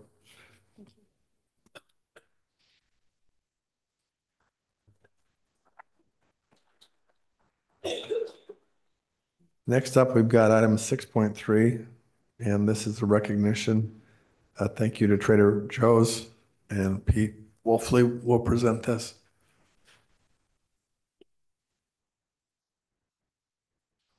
I'm gonna invite Gina up. She is, she knows way more about this, and she's even come with a sign. Brought my own signage. But I did bring the treats, so I should get some credit. Council, mayor, council, and all of those wonderful attendees here. I'd like to invite Herbert and Noah up. I'd also like to invite um, Joyce, who is the chairman of our Senior Advisory Commission, Verl Hooley, he is on our commission, and one of our amazing volunteers, Peggy Taylor, come on up. These people know a lot about what we're talking about today. You'll recognize those from Trader Joe's in the amazing Hawaiian shirts. Um, we want to thank them. So, what many of you might not know about is uh, we partner with many um, different companies within our community. One of them being Trader Joe's. We also partner with Costco, Macey's grocery store, Pizza Hut, Chick Fil A. Um, say again. Crumbl. Crumbl. And Crumbl Cookie. Sorry. How can I forget them? But um, recently, we were we received the paperwork from the Trader Joe's location here in Orem, which, if you haven't been there, you should go there first of all. But they share their products with us, things that maybe are close to date or have damage on them, but are still good. And we set up um, like a farmer's market food shares table Monday through Thursday for the seniors. It's all done by our volunteers. On the weekends, Joyce and her family, um, as well as Peggy, help out um, picking up those donations, separating everything out so that we know what needs to go out on the tables on Monday, Tuesday, Wednesday. Um, and each of our seniors are able to get one bag of groceries every single day for free. And it's because of these uh, companies, and especially Trader Joe's, I need to let you know in one year, they donated $325,000 worth of product to the Orem Senior Center. Mhm. Mhm. I don't know if they realize how grateful we are for that. Um, on average, we give out about 1,200 bags of groceries a month, on average. Now, I know I couldn't get that many signatures on this, but we have this amazing sign for you that so many of our seniors have written their thanks and gratitude. And we hope that you will accept, accept this as a gift from us. We love you guys so much. We're so, so grateful.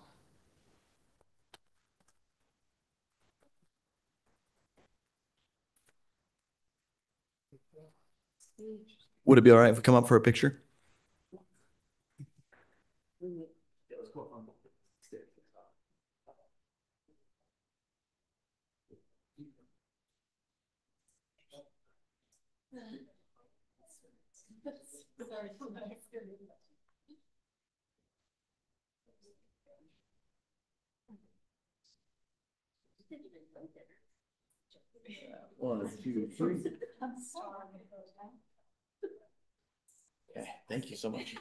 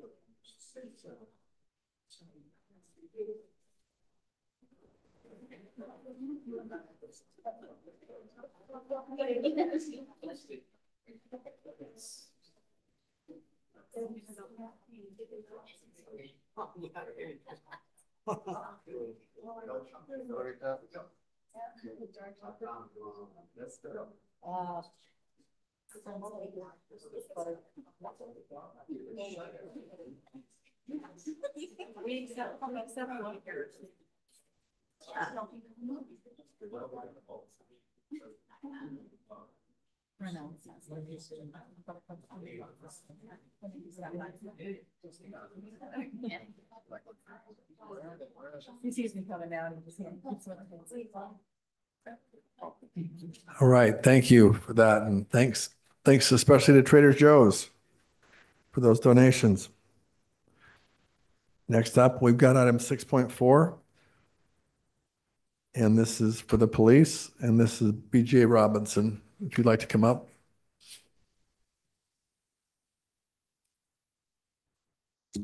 Mayor Young, members of the city council, uh, citizens that are here and present, it's my pleasure to represent the men and women of your police department here today to recognize our chief, um, Chief Josh Adams. Uh, Last month, end of the month, uh, Utah Chiefs of the Police Association held their annual conference, and our chief was nominated and selected as Chief Police of the Year for large agency. Uh, In part, the nomination highlighted uh, our chief's leadership and uh, focus and care on improving officers as individuals through uh, individual uh, accountability, uh, increasing our department training, um, and with the aid of city and, and you as city council, increased mental health resources to officers and their families. Josh will shrug this off because that's how he is. Uh, he's a good leader. uh, and he will shift the focus to the men and women of the department and say they make him look good. Uh, and that is true. Uh, they do. Um, but it's because of the leadership that he provides. Uh, I witness on the daily uh, the toll that it takes, the heavy burdens that uh, he carries, um, and uh, the heavy lifting that he does. And so this award is a very deserving. And uh, so please join me in recognizing uh, Chief Josh Adams as the UCOPA's Police Chief of the Year. And it'll be a little easier if I ask him to come up as a favor to me. Uh, if you'll please come up because I know that uh, he won't do it if I if he if I don't phrase it in that manner. So, Chief, if you'll please come up for me and uh, please accept this recognition.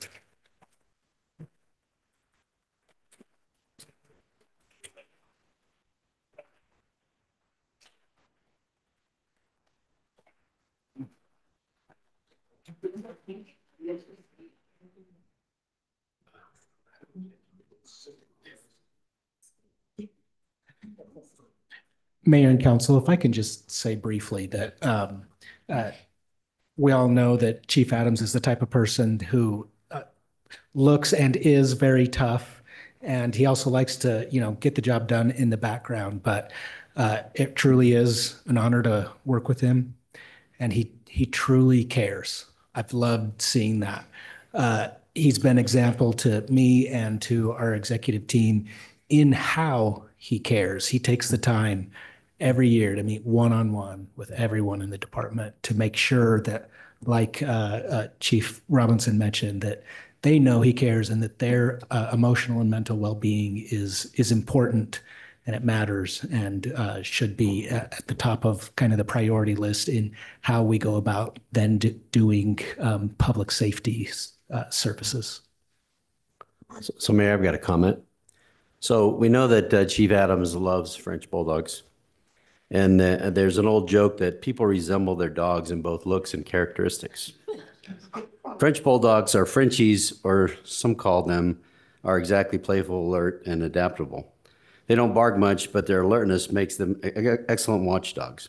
They can easily adapt to all kinds of different situations. They are highly intelligent, but so incredibly stubborn.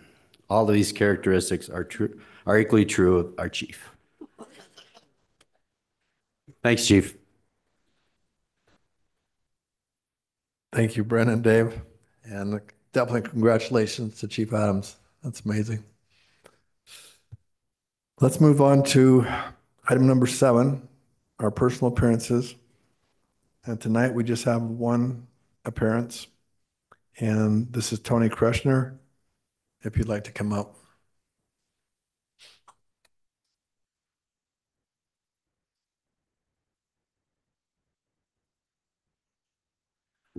Hello, Mayor. Hello, City Council representatives.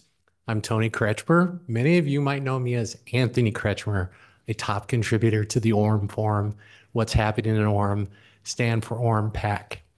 I'm here today to address you in a very pivotal moment in our school district. We are at a crossroads where we have an opportunity to enact a split upon a district that has grown exponentially bigger, too big for so long that our own Utah legislators have enacted laws to force them to split. I have been a resident of Orem for 30 years. My wife has for more than 50.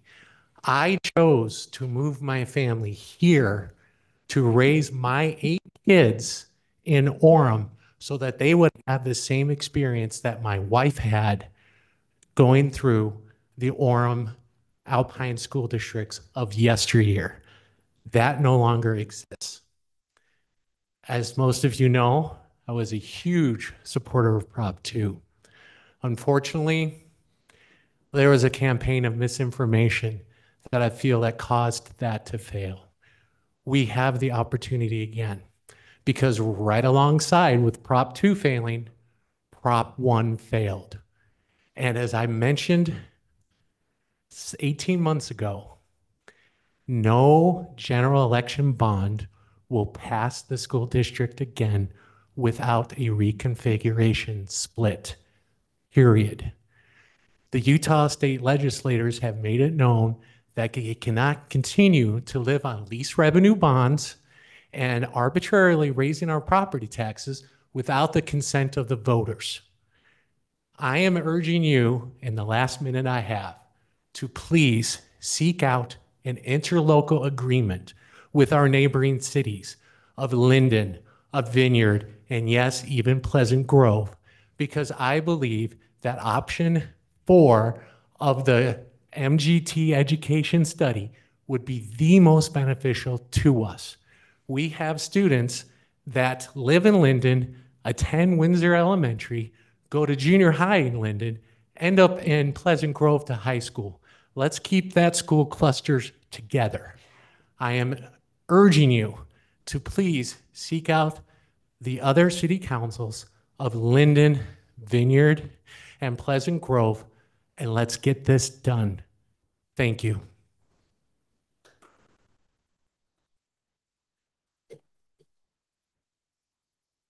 Thank you. We'll move on to item number eight, consent items. And on our consent items agenda tonight, we've got approval of meeting minutes for March 12th, 2024 to March 26th, 24.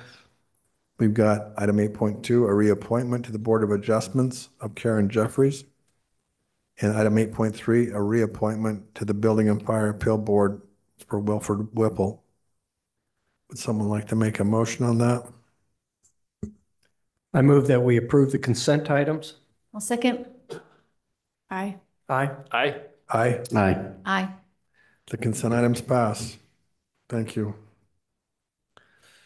Let's move to item num- number nine, scheduled items. Item nine point one is a presentation by the Community B- Development Block Grant CDBG update, and this will be Heather Cox from the city and Debbie LaRay, former council member from MAG, and Ken Ransom, the CDBG chair.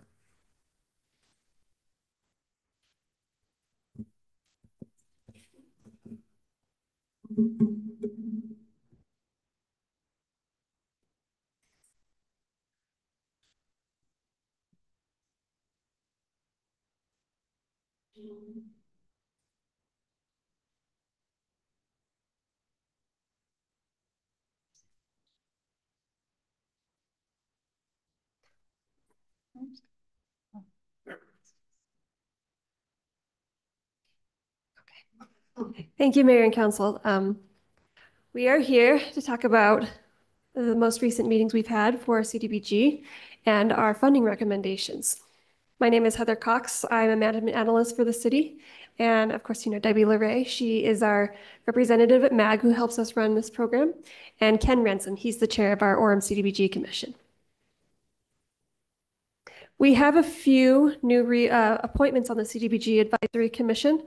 Stephen Heaps was reappointed, and Scott Snow is a new member of the CDBG Commission.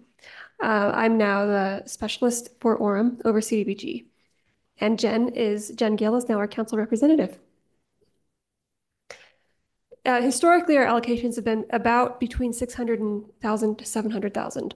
And we've been advised that we will receive approximately the same funding as last year. Um, so, which is a three, $632,646. Our rollover funding from last year is 30,543. So our total estimated funding, uh, this isn't solid. We don't know 100% if this is the exact number, but it will be roughly the same number. Will be Say- 600. Say Heather, Yep. uh, not to interrupt, but just to clarify, Yeah. that rollover funding, where does that come from? Um, it was from projects last year that didn't spend their, their total amount. So it was leftover funds from other projects. So with that rollover funding, we'll have 663,189. Yep. So the Congress just passed um, the bill that would, that would include this money, and it was on March 5th. They have 60 days to get us the final numbers. So we're hoping by the beginning of May, we will know the exact amount. But until then, we are, they, we've been told by HUD to just use what we had last year. It'll be very similar. And after our 30-day comment period, we will have another presentation at the end of May. So we'll have, we should have that final number with- for that final presentation. Okay, I'm going to turn it over to Ken, and he's going to go over our um, spending. Thank you, Heather. Good to be here before you again, uh, Mayor and council members, representing the, our city's advisory commission for the CDBG. And I'll run over the, uh, the numbers that we're recommending. And just want to thank first our council, or excuse me, our commission members. Thank our commission members for their service and for uh, helping us out with this project. And thanks to these two as well. And uh, just want to mention too that I, uh, Joey Elise and I served, represented Orem on the Joint Commission and just wanted to let you know that that's a difficult process to go through because they're asks. These are great organizations that do great things for our community and they need far more money than we can give them. And so we try to stretch those dollars as far as we can when we make these recommendations. All right, so the, the first one, Orem Police Department Victim Services, this is an Orem-only project. We're recommending 30,000. And this uh, would assist with the salary for an advocate working with victims of domestic violence. And the next one is also an Orem-only project uh, for the Department Homeless, the Orem Police Department's Homeless Services. That helps uh, our uh, officers help homeless make the next step toward uh, improving their lives. And we think this is a worthwhile as well, and we recommend this be funded as well. Uh, The next three are joint. These are uh, public service joint funding recommendations. Uh, The first is for community action homebuyers. Orem residents take these classes and have the opportunity to improve their chances to, to uh, purchase a home. And these, we recommend that this be funded at $10,000. And Kids on the Move, we're all familiar with that organization, benefits many of our Orem residents. Uh, We are recommending $10,000 for their Head Start nutrition program. I, I know you're going to go through several sheets. Are these all similar to what we've offered in previous years, or could you tell us if there's a delta, a significant delta change as we go through these? Well, the- our funding recommendations do change a little bit, and you might want. I guess I just want to know about major changes. Thank you. The joint funding on the regional level, uh, a lot of, a lot of the same ones are funded, but there were also more that asked this year. There were specifically more capital asks. On the Orem only level, it is mostly the same. There were two projects last year that were um, one-time projects that are, have dropped off. So we are doing all of the same things as last year on the Orem only level, and we are adding one project, which is the Orem Senior uh, Flooring Project. Thank you. Then do you have a percentage breakdown for Orem only or joint that you have to follow or? Yeah, and that's going to come up on a future slide. Thank you. Thank you for that. And any other questions before we, all right, we'll jump back in. And so the, the final one on this uh, slide, the Food and Care Coalition, again, that's a joint uh, that we're funding with our partners Provo and Utah County and MAG. Um, These recommend 15,000 to fund meals for low-income residents in Orem. So next slide, please. And these are public services uh, recommendations again. These are all joint recommendations. So Community Health Connect, they connect uh, medical professionals who are willing to donate their services to those in, who need those services, can't pay for them on their own. We recommend 15,000. Uh, Family Haven, Utah Valley, formerly Utah Valley Family Support. We recommend 32, $3,264. This, those costs go to help with therapy costs for them.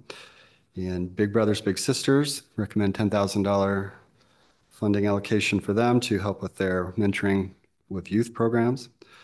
And the final one, Food and Care Coalition, recommend $15,000 for their program costs for low-income residents in Orem for meals.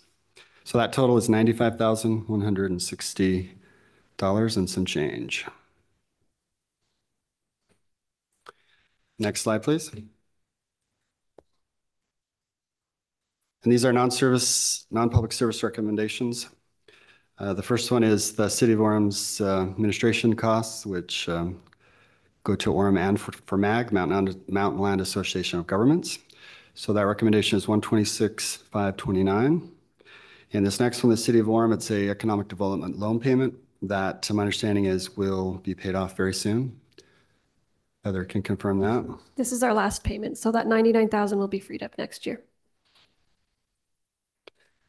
And uh, the rest, so City of Orem Code Enforcement uh, helps to fund a full-time officer working with target neighborhoods uh, with code enforcement. We recommend this be funded at 161,500. And then for the Orem Critical Home Repair and Home Rehabilitation Fund, we recommend the 56,729. And for the City of Orem Neighborhood Preservation, we recommend 30,000 for their, fund their events and activities during the year that they, uh, that the city holds in the, in the uh, it neighbor, in the neighborhoods that meet the criteria. And Heather rec- referenced this earlier, so the city has notified us that they have a need to replace the flooring in the senior center. So we recommend this be funded at the re- um, estimated cost of $30,998. And our final recommendation uh, for you is the refuge. They are um, building a new shelter in Orem and recommend that this be funded at $63,265. And the total you can see there, $663 and hun- 663 and one- $1,189 is our, that um, is our budget. What's the infrastructure for the, the refuges getting? It will include things um, like utilities coming, utility lines, things like that as they um, prep for that bit- new building. So water, sewer, electrical. Does that impact fees at all or just kind of the, the general utility like running the lines is? Um, Jessica, do you remember? Yeah. I know that they asked for um, two hundred thousand. And um, so the total g- ask will be, and you'll see that on the, the um, regional one. Is that the thing on Eighth North and State, right? Yeah. The women's, perfect, thank you. Yeah, it's toward the end. So it'll be a great asset to Orem. How, how does that, that, uh, crit- cr- critical home repair and home rehabilitation, uh, how's that managed? Uh, And the reason I ask is because we're going through a process where we're, we're looking at doing a lot of volunteer efforts and we're looking at Mhm. code enforcement and we're trying to marry that all together. I'm just curious how this would fit into that. Yes, so we usually um, provide funding through the Orem's CDBG allocation to that. Uh, However, this year, we- instead of doing the full hundred thousand dollars, we cut it down to fifty-six because it is a revolving loan fund and we never seem to spend it all. And with this um, senior center flooring project being a top, uh, a big priority, we've allocated some of that money to, money to the senior center flooring project. Um, So that's a zero percent interest deferred loan payment. And we continue to work with MAG, actually. We're going to move forward working with MAG um, to be able to administer that program. I'm, I'm just curious about that one because it, Mhm. it might get a lot more visibility with the path we're going down as far as funds that could use to be available. Okay. And saying that, um, once that loan is paid off, that section one oh eight, next year, if, if the need is there, you could certainly transfer some of that ninety-nine thousand down to, to critical home repair following year. So, you know, if, if you want to look and see what the demand is for this year. Okay. And And, the but other- that, but that was a hundred thousand. Yes, We moved it's it to 100. fifty-six, but that was because there wasn't enough demand. Yes, so the, the, we never use up, we we usually use up roughly, well, from what I can tell, um, half of that critical home repair budget. And we still have citizens paying back into that as they're selling their homes and moving out. Uh, they, they have to pay back their loan. So Okay. we, we aren't using all of it. I, I talked with Brandon Nelson about it and he said, you know, we really don't need to put a full one hundred thousand into that. Um, the other nice thing is that the senior center flooring project is only a one-time project, so that thirty-one thousand can go back into the critical home repair program next year if we Okay. need I additional. could, I could just see this. And I, I think you're fine where you're at now, but I could see Mhm. this as we move forward with this project, that using that entire hundred thousand. Yeah. And that's my question. Can you amend this into the future? It looks like we have those needs. Yep. Oh, can we? Oh, that- Only if we have the funds. Right, but I mean, if we can switch the funds before, we don't have, we're not tied to this. Once the funds Um, come These will out. be, these numbers will be, once we know the exact number from HUD, we will do contracts with these, these amounts in them. And so um, in order to get, we'd have to do an amendment to the sub, sub-recipient agreement. And there have to be some, either something that went lower, um, but the total still has to be the same. Okay, and fiscal year twenty twenty-five? Starts July 1 and it's June 30th. Oh, perfect. So So So July. it follows the city fiscal year then? Yeah, it- yes, yes, correct. Mr. Mayor? Yeah. Is, are we acting on this today or just hearing about it today? Just hearing about it. Because I know you like to come a half dozen times before we actually vote, Ken. It would be helpful if you would send out to us last year's budget, last year's grant, this year's request, and current year proposal. If you could send that out electronically, then we could A/B what they've been given in the past, and we'd have a better understanding. Would that be, is that easy to do? Someone in county can do that for us, Brent? I've made note and we'll, we'll do it. Thank you. It, it looks good. I, I just can't remember everything we did a year ago, and so that would be helpful if I had that in front of me when it is time to vote on the issue. Well, happy to provide that for you. Okay, I'm, I'm going to talk a little bit about this regional committee, which Ken and Joey were part of. Um, There were 24 applicants. Um, They were all very good projects. We fleshed them all out, who asked for um, a lot of money, of which we only have 680,000 to distribute between Provo, Orem, and Utah County. And what we did is, um, after we had figured out the total amounts that each, each, um, usually it's a ten percent give out of their public service part, and, and there was also this year, uh, we talked to you about the capital projects. That was another ten percent. We didn't always have those capital projects, but just know Food, Food and um, Care Coalition needed new flooring down in Provo, and the refuge course here in Orem asked for two hundred thousand, so hundred thousand asked from, we also had a third one, Fit to Recover, which did not get funding this year. So um, we had quite a few. How we determined Orem's, um, Jessica, many of you know my boss Jessica and I, we went through each of the projects and we, we looked at the different beneficiaries from each community. And one of the reasons that we assigned these is these particular um, um, services, whether it was kids on the move, you know, community help, all of these are ones, they had a strong percentage of Orem residents who were utilizing. So that was one of our decision makers of how we assigned it. We still had to get to this number of the 126. And if you can see, like Family Haven, um, Pro had to take some, we had to take some, but the other ones were based on just beneficiaries of our warm citizens. So we feel good about that. And, um, and we feel like this was a, this, this was an abnormally high ask year with 24 projects. We don't usually have that many. And we were happy to fund 18 of the 24. So, Any questions on that? Also, I think it's important to note that this year we received more asks of, for capital projects, which we didn't last year. And so that dipped into our overall funding as a city. Um, the joint funding also dug into our, our funding. Um, So our total recommended allocation is six sixty-three, one eighty-nine, and a little bit of change. The next steps is we have the open, we, the open the public comment period for funding recommendations. In May, after public comment is closed, at the end of May, um, we will come back again and you will vote on our recommendations. Any questions? Any questions? Can, can you give us a little bit of detail on, on how it works from management perspective, perspective? In other words, you gather all the data and now you decide where the funds are going.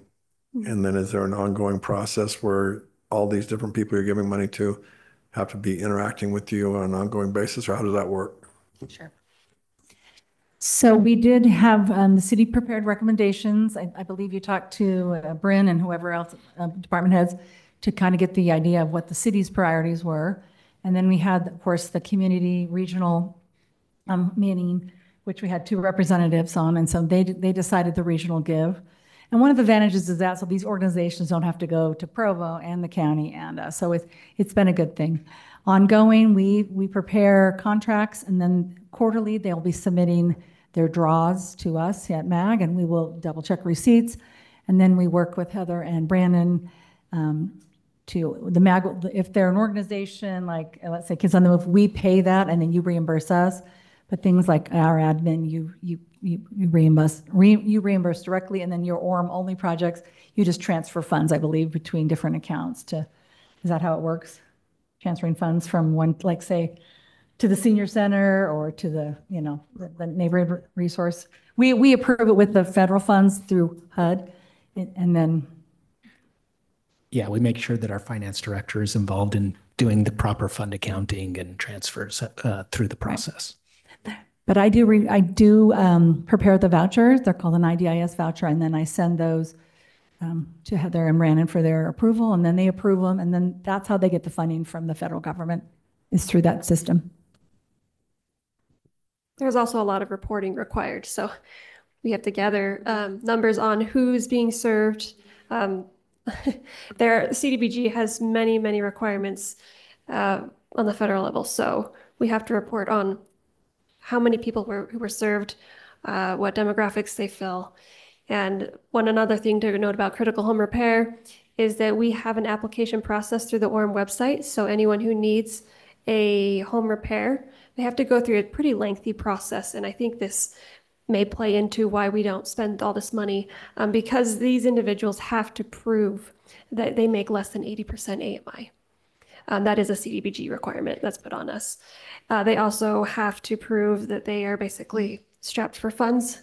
Um, so many people who receive these funds are either elderly or disabled, uh, or they live in one of our CDBG designated um, neighborhoods, but they have to prove that they make less than 80% AMI.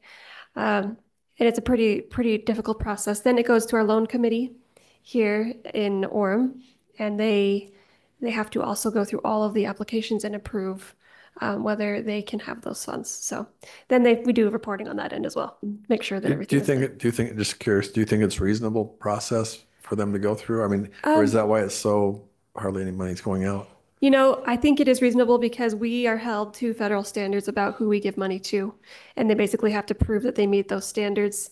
Um, uh, so for example, sometimes, you know, I've, I've gone through an application where she did, you know, someone did technically meet those out qualifications, but they, they had other means to pay for Mm. a, and, and there were other applicants who were elderly or who, just need, we felt needed the funds more. Mhm. So, If you, if you loan, I mean, say you loan to some, uh, one who's elderly mhm. and they pass away, do, do you have like a lien that repays that We money? or do how's that put work? liens on, on the home, so once they pay back those funds, we reconvey those deeds, but, um, do you know what happens when, that has happened before, and I think we just, I believe we just turned it into a grant at that point, because there's no way. Yeah, we do try to put a lien if they sell the home, um, but if they continue to live there, you know, until someone dies, um, you know, we'll, we'll be reasonable with that. Yeah. Um, I did want to bring up, um, our director of Family Haven. Um, she is someone who will be benefiting from this, and I'd love to hear, um, from her on what these grants mean and, and how it benefits Orem residents. Thank you for coming. Thank you so much, Debbie and Council and Mayor, for allowing me to take a minute to speak tonight. Um, my name is Janelle Christensen, and I've been with Family Haven on and off in different positions for 15 years now, six of those as the executive director.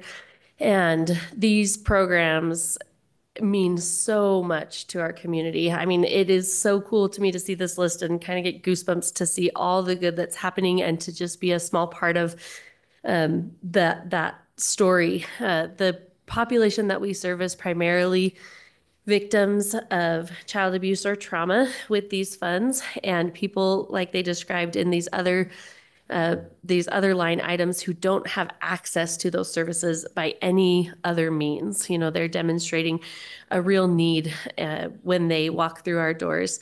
And when we, what we know about uh, the the things that these children are experiencing is that it really changes the trajectory of their lives, right? So when we can intervene early, when we can find that resilience, the average number of sessions that a child needs is 16 versus an adult who's then coping with it is four to five years.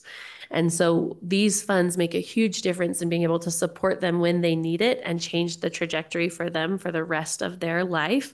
And then that leads to obviously societal benefits and things like that.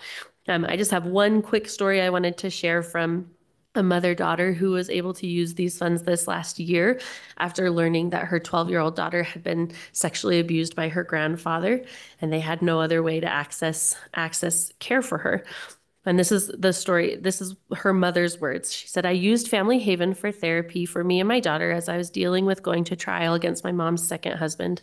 I had hit rock bottom and experienced extreme depression and severe anxiety. Going to therapy at Family Haven was the thing that helped me from losing my helped keep me from losing my mind. I was going for a year on a weekly basis, and if it hadn't been for the grants, I wouldn't have been able to get the help I needed. I'm so grateful for this wonderful resource that was there for me when I was going through the worst crisis of my life. My daughter also used family used therapy at Family Haven when she hadn't opened up to anyone what had happened to her since it went to court. It was only through that with fam- that care with Family Haven that she was able to speak about her trauma and face it in a courtroom. The grants to get her the much needed therapy were a godsend. We went in as victims and came out as victors. Thank you, Family Haven. And really, thank you to you, to CDBG, to this program, because when she references grants, this is what she means. This is what allowed her and her family to find that hope and healing that they so desperately needed. So thank you for your consideration, for your support in the past, and for the difference that this makes in our community. Thank you. Anything else? Any other questions? Any other questions? Say one thing. I know that our, our Miss Orem, current Miss Orem Natalie Green, um, that's her platform is the, the, for getting victims of abuse to where they can get the need, the things that they need and the therapy that they need. And I really appreciate what you're doing because it does make a huge effect. Um, get that happening now, right, on their entire life so they can overcome. Thank you so much for that. And we will get those numbers for past, last year's funding and this year's funding for comparison. Mhm. Thank you so much for letting us come and present, and we appreciate it very much. Thank you.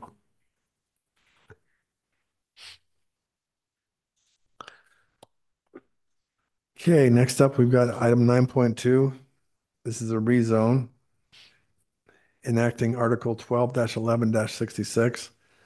Uh, a PD fifty-three zone and Appendix OO of the Orem City Code and amending Article twenty-two five three and the zoning map of the city of Orem by rezoning the property located generally at nineteen sixty North State Street from the C two zone to the PD fifty-three zone. Uh, Matt, if you'd like to present that to us. And what, uh, yeah, if you'll present, then we'll have a public hearing after that.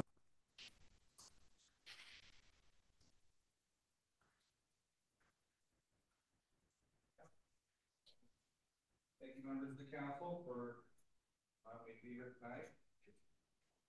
Um, as stated, this is a rezone.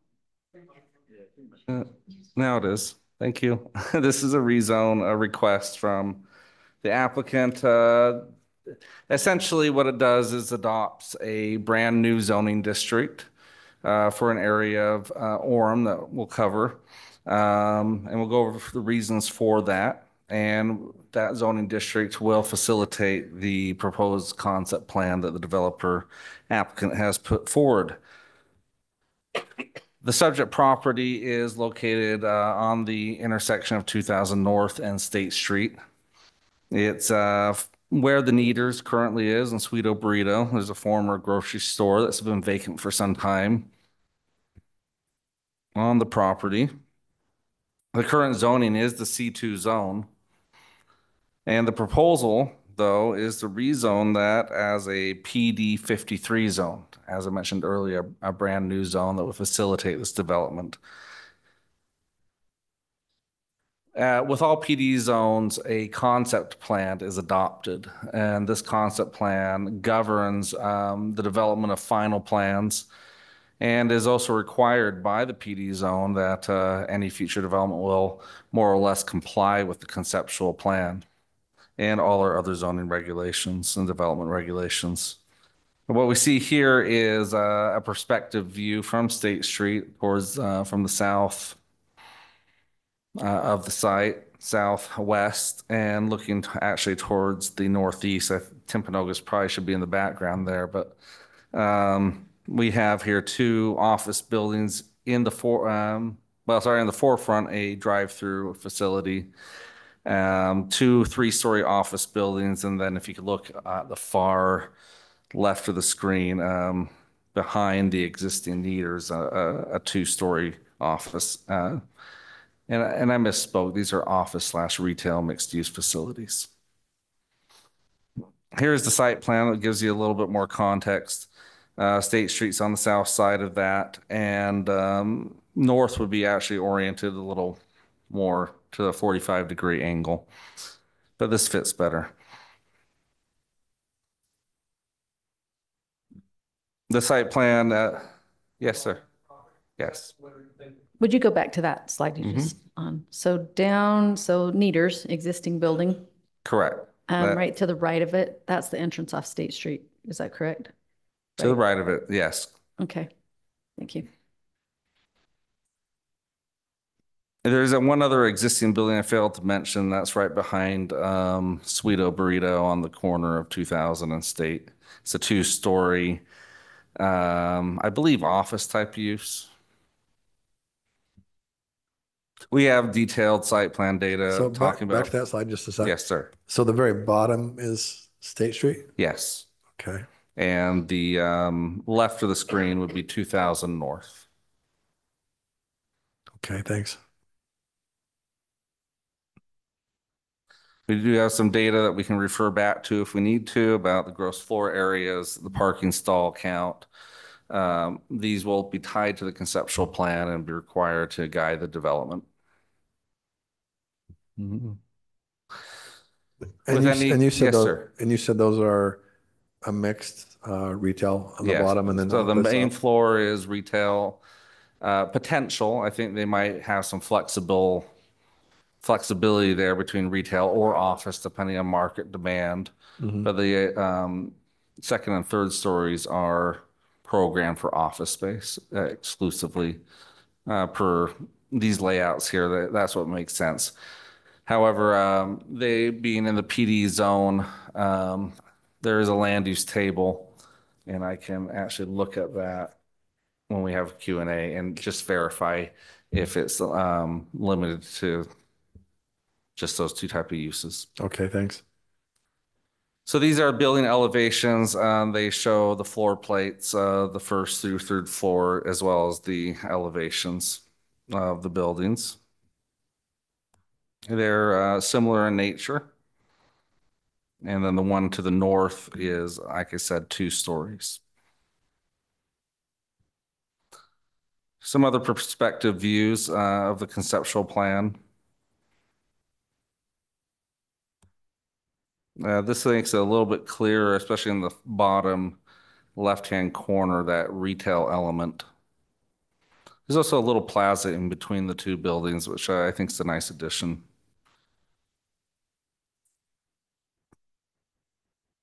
Okay, this is the existing site conditions. as I said, there's a, a- former grocery store that's been vacant for some time. And then you can see Neaters off there in the uh, upper left. Uh, Sweeto behind that, that beautiful fall tree, I think. As, as I looked at this bef, during the stuff you sent out, it looked like Neaters was going to remain and the Sweeto, Sweet Burrito, or am I, might Yeah, blowing it? correct. Those two buildings would stay, the rest would be razed. There's an additional building behind Sweeto Burrito that would remain. It's a small building, right? It's a two-story, smaller building, about 6,000 square feet, I believe. Combination office, I think. and- Yeah. Okay, thank The, you. the main building to be razed would be the grocery store. Right, thank you. We, uh, with all PD zones, we have a governing ordinance that would be adopted as part of this. There are some exceptions. This is really very similar to the C2 zone. Um, the, uh, my understanding of why the applicant has proposed a PD zone is for a few exceptions. Overall, this will be in line with the general development of the corridor. It's not particularly, uh, divergent in any significant way uh, from what's uh, allowed already on the site by the current zoning. But they did ask for a few um, variations and hence therefore we have the specialized zone that would allow those variations. Typically, we have a 15-foot setback from the sidewalk. Uh, The back of the sidewalk um, on State Street, they're asking for 10 feet. That allows them to um, uh, maximize some parking space uh, and to get their numbers close to where they need to be. Also allows for a drive-through to go through on that um, retail pad site. Uh, Is Yes. there going to be a, I'm trying to look, so how does that building on the south, the drive-through, line up with Neaters, the setback for Neaters, do you know? It's uh, behind it. I'm not sure how many feet. Uh, I would guesstimate it's at least 10 feet behind the current Neaters. Behind But they the have that drive-through that goes in front of it, and that impedes into the landscaping area that we would normally require. Okay, but visually, it will be, Visually, yes, it as far will as be the within the building. 15 feet. Correct. Um, other than that, setbacks, uh, remain, uh, equal to the C2 zone. And then the building heights, um, correct me if I'm wrong, but they're, they're equal, right, Ryan? Yeah, to the current C2 zone. Landscaping, I already mentioned the, uh, deviation there. Um, they do request for slight, slight redu- parking reduction, uh, rather than one stall for two hundred and fifty square feet. Um, to allow one stall per two hundred and fifty-five square feet. And, um, this allows them to lay out the parking and the buildings in the way that they desire.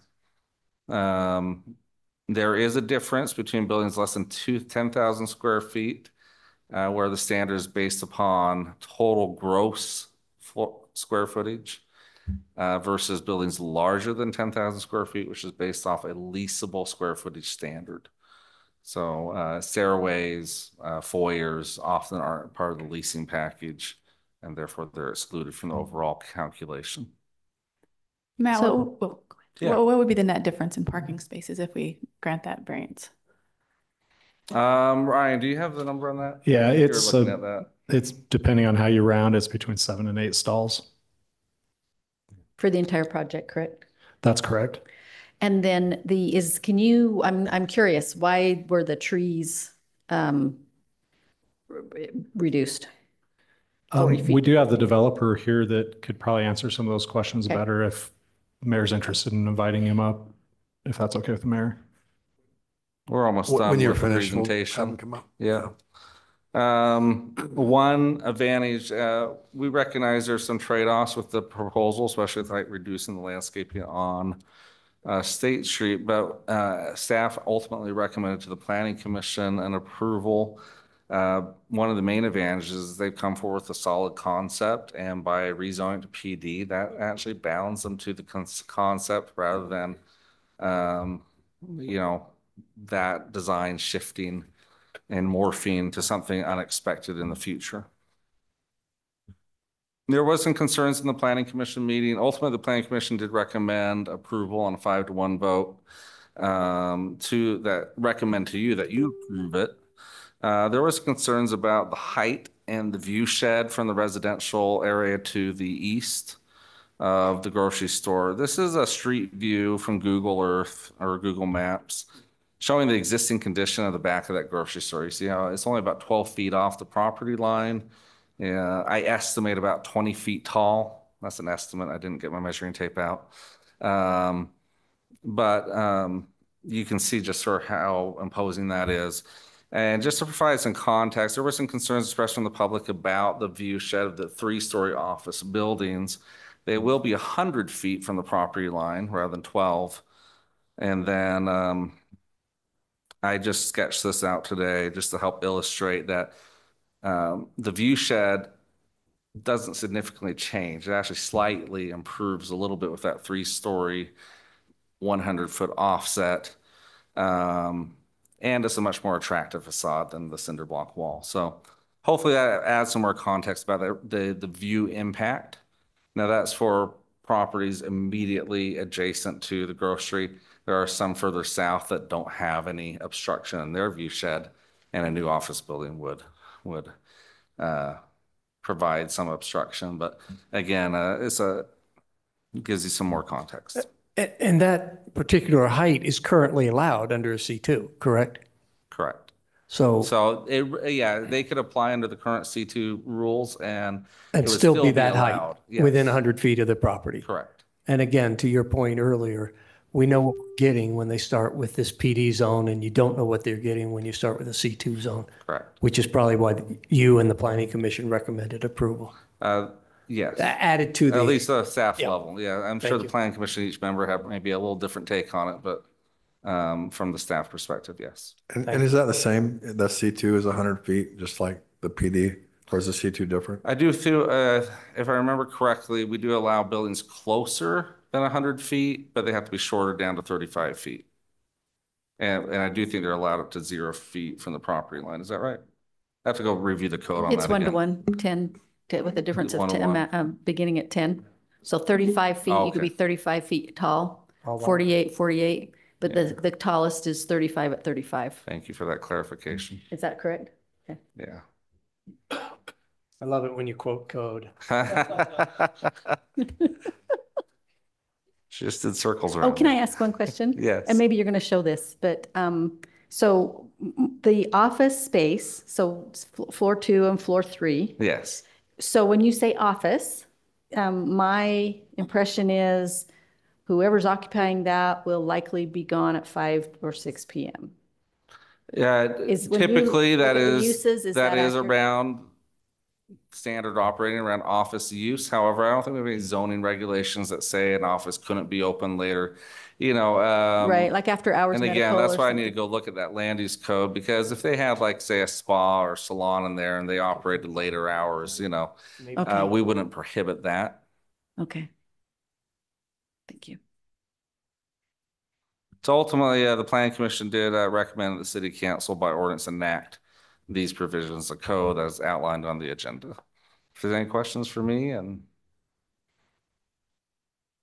I do want to ask the applicant about the trees, Let's go ahead and invite the applicant up.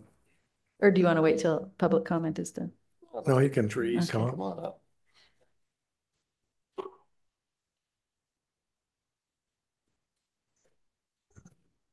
Thanks for meeting with us tonight. Uh, My name is Dave Vincent. I'm one of the partners and represent the partnership uh, putting forth this uh, request. Um, The main reason for the tree request was because it matches what is already there. Um, The existing trees, which are quite large, full mature trees. Um, So tearing those trees down would actually reduce the amount of landscaping and the coverage that is there existing along State Street. You're looking just to supplement that same look that's already there? Correct. Okay, thank you. Can you go, David Vincent and then our lead architect, Justin Hepler. Yes. Yeah, David Vincent and Justin Hepler with AJC Architects. could you, go- could you just go back to kind of the pros and cons sheet?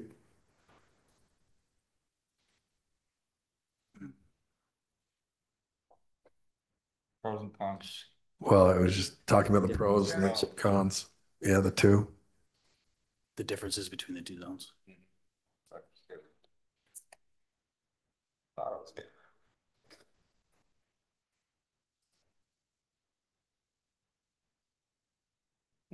There we go.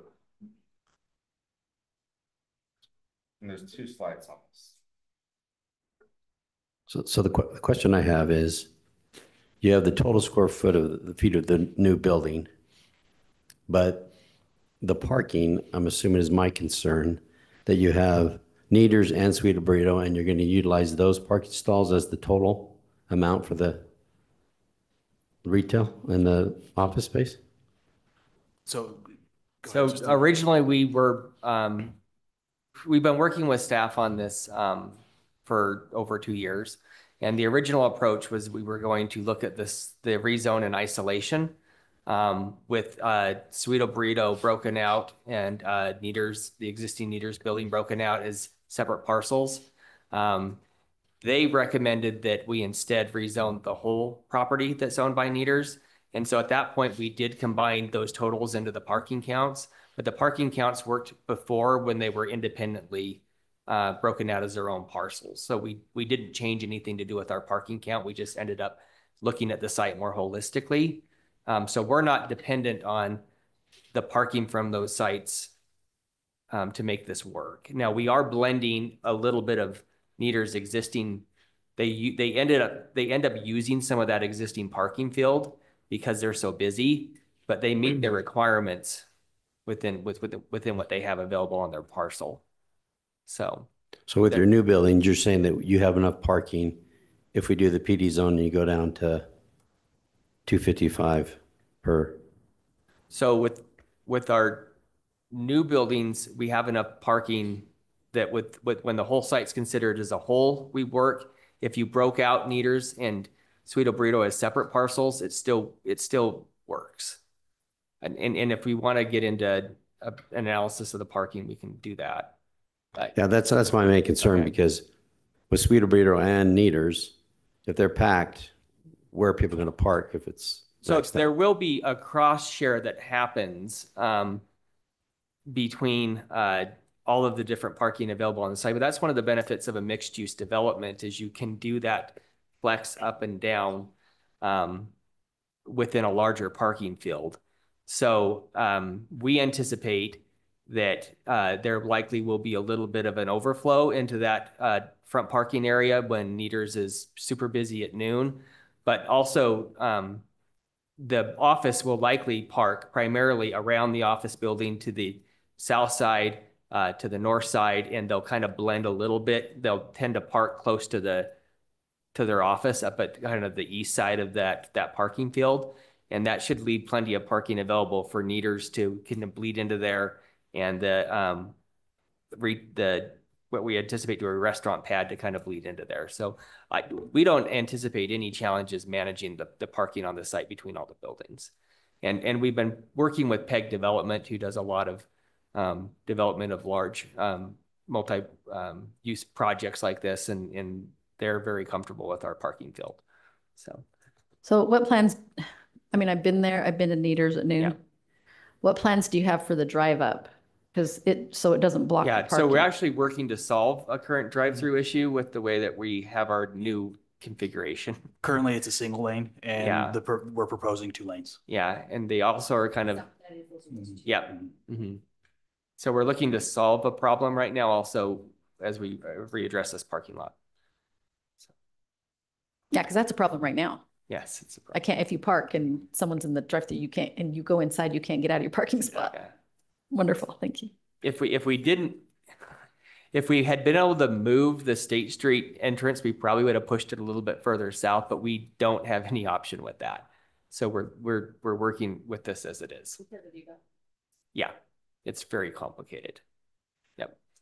So Matt, can you go back to the, um, the pros and cons, whatever the positive and negative, yeah, right here.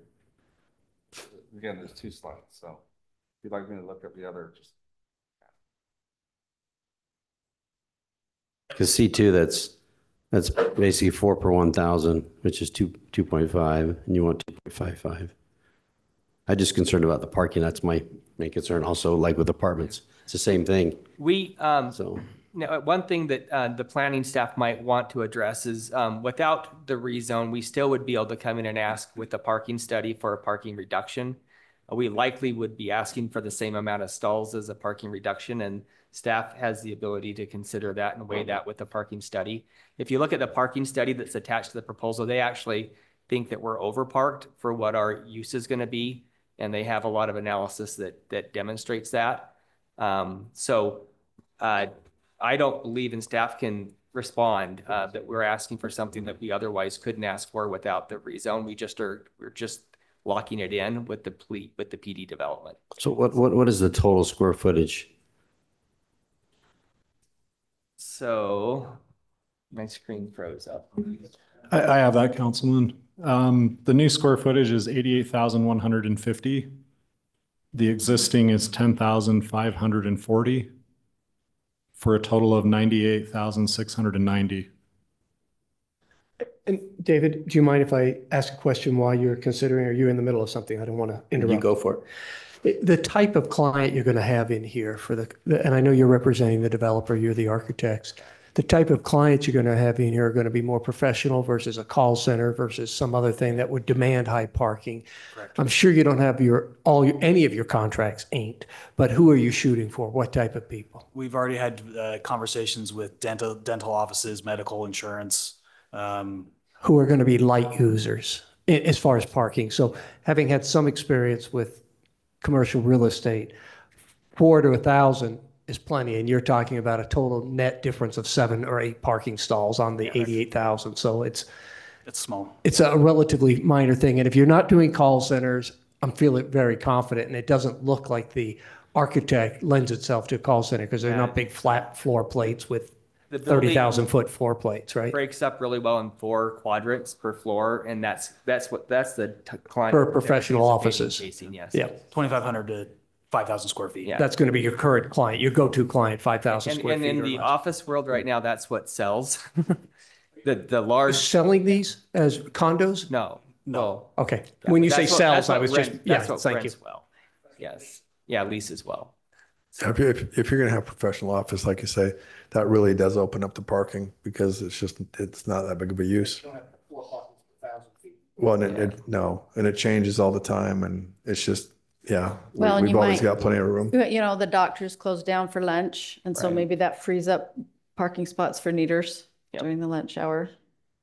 When also So- they go home at five or six. they six. go home at you know, five, so the that dinner- Opens that up for dinner. Yeah. A question maybe more for Ryan. Um, along State Street, is that curbed, is that red curbed? If there was a massive wave of lunch goers? What's, what does State Street look like as far as parking on, along State for a short period of time? There, there is a shoulder there right now and it looks like you can park there. There is a bike lane shown. Um, but it's not red curbed. In the twenty-five years that I've been there, I've never seen a single car park there. Well, No. it's, it's it's a vacant lot. No, yeah, that's true too, so, yeah. Yeah. But I don't see parking on State Street. I think, I think the On, only on time the that other would, side of State Street, there's a, there, there's a housing development and there's parking on that side. There, there's a That's a the medical question. clinic and a, a retirement home. I just think Directly across the parking street. on State Street is never a good plan. Yeah. From the beginning. Yeah. Uh, Mayor, I stand corrected. There are no parking signs designating it as a bike lane. I just had to look a little closer at the Google Street View. Thank you. I just wouldn't want to go into it with the- that being part of the plan. We need to park it on the, on the property. what's your overflow plan for, I'm guessing you're putting a swig there on the corner, but what's your overflow So plan We there? actually worked, we we did a lot of work to get that um, drive-through to configure right, but you enter the drive-through from uh, the internal, uh, there's an easement that has to be maintained between the lot to the south and across the site. And so you enter from that easement, easement vehicle lane and, and we feel like that's gonna keep all that overflow traffic internal to the site. Yeah. And then here's my next question. So exiting from that area, your traffic study, Um, are you looking at some traffic control devices somewhere? It's pretty tricky to get out of there. You're incre- you're increasing the activity in this parcel of land a lot. And I know, you know, coming out and trying to make us turn south, did they recommend any kind of So um, the- the controlled park- intersection The or- parking study didn't recommend it. I mean, right turn is always going to be easier than left turn. Um, I, that's not something that uh, we're proposing currently. Uh, we'd be more than open to your perspective on that if you wanted to try to regulate that. But right now, um, we don't have any plans to uh, regulate that. It's really not us, it's UDOT, right? That Right. would, and they haven't, Well, we haven't done our full submittal to them, so that could come back out of that process um, as we move on with development. So, okay. Did you ask what the, you know, what, what you could have in a PD fifty-three? What are the uses? It's gonna be the same as the C two, correct? Yeah, it's, It'll it's be the same as the C2 it's the same as any use that's allowed in a C2 zone right now. So there's like a thousand uses, so So- to show you the table would probably not be We're, very we're basically talking about eight less parking spots and five feet closer to State Street. Everything else stays pretty much the same. Is that fair? Correct. That's fair to say. And how many of those could the state, could the staff have done? Could the Meaning- staff have approved those without a PD change? No. Without a zone change? No, we could not. Um, the You could have gentleman, waived the parking requirement, but not the move to State Street? we could not waive either one of them. Okay. And, and the gentleman at the table suggested a parking reduction study. That is an option to pursue if it were not to be rezoned, but staff doesn't approve that. It goes through a different approval process and Steve and I can't recall off the top of our heads. It just goes to planning commission for approval on a parking reduction study. Thank you. And with that setback going from ten, going from fifteen to ten, I mean, normally I think we'd care about that. But because this is already, s- everything's set so far back, it has that nice open look, so it's pretty insignificant. Yeah, and I, going back, I, I've worked with uh, Mr. Vincent on this about seven years ago. We started having discussions. And that road, that easement that he talked about kind of locks that parking field in place. And so if you did have that extra five feet, it kind of squishes the parking up to the building and the drive aisle doesn't work out very well. So So your again- sidewalks don't line up, right? Because you're, correct? so, so right now, the sidewalk in front of Neaters doesn't line up with the sidewalk that uh, is, is in the new parking field. And that's due to your rules have changed since then. So we're going to have to kind of swivel it over um, to And how wide is the, the turn in? You get? uh, is it 13 feet or?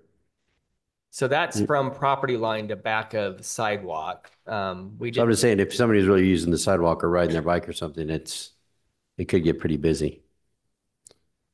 So, yeah, that, uh, ingress egress off of State Street could get busy. Do we have any other questions or should we open it up? We're good?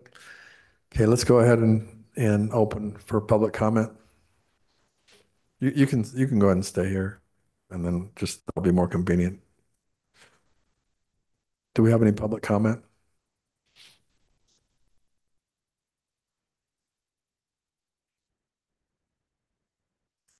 Hi, my name is Laurel Barney. I live on Ribbonwood Drive, so my property butts up against, it would be Building One. Um, Our, we like the idea of what's being um, shown. The thing that we are concerned about is the parking. Um, Orem, you do a great job at a lot of things, but parking is an issue in a lot of places, at the mall, at Trader Joe's, at city council meetings, at um, parking for, you know, at the, at the soccer complex. Like, there's just a lot of, of issues with parking. And we are worried that it's going to affect 2000 North. It's going to affect our neighborhood in that, in that way. So just as a reminder, we have an LDS temple that is going to be completed in Lindon, and their access is going to be 2000 North. Um, that light, um, there are four um, exits and entrances on the Orem side in that half a block, you know, from State Street to Ribbonwood. And th- there are six on the Lindon side. So that's 10, 10 driveways or roadways that access that small area. That light, I, we just think that's going to be a problem and just want that to be considered um, as you as you, you know, go forward on this. Thank you. Thank you. Anyone else, feel free to come up.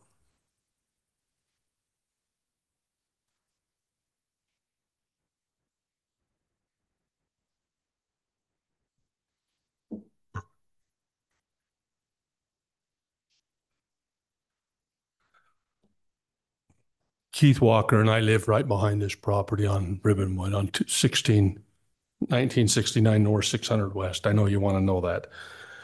Uh, I'm going to call a little bit. I've shared some stuff today and I'm going to share a little bit that what they said isn't totally true, but I'm not necessarily trying to slam them. I just want to know it's not totally true. Uh, As we talked before, I'm going to read some of this and share it.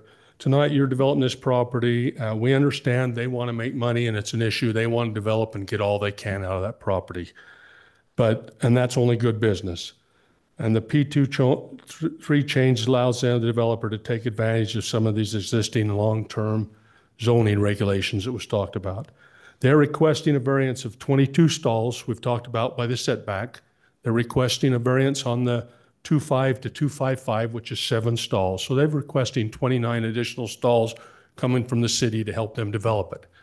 What they haven't told you is that they're 20 short stalls short already on that property according to their 255 zoning. And so really they're 49 stalls short in the total property and they're asking for 29 from the city and being short 20.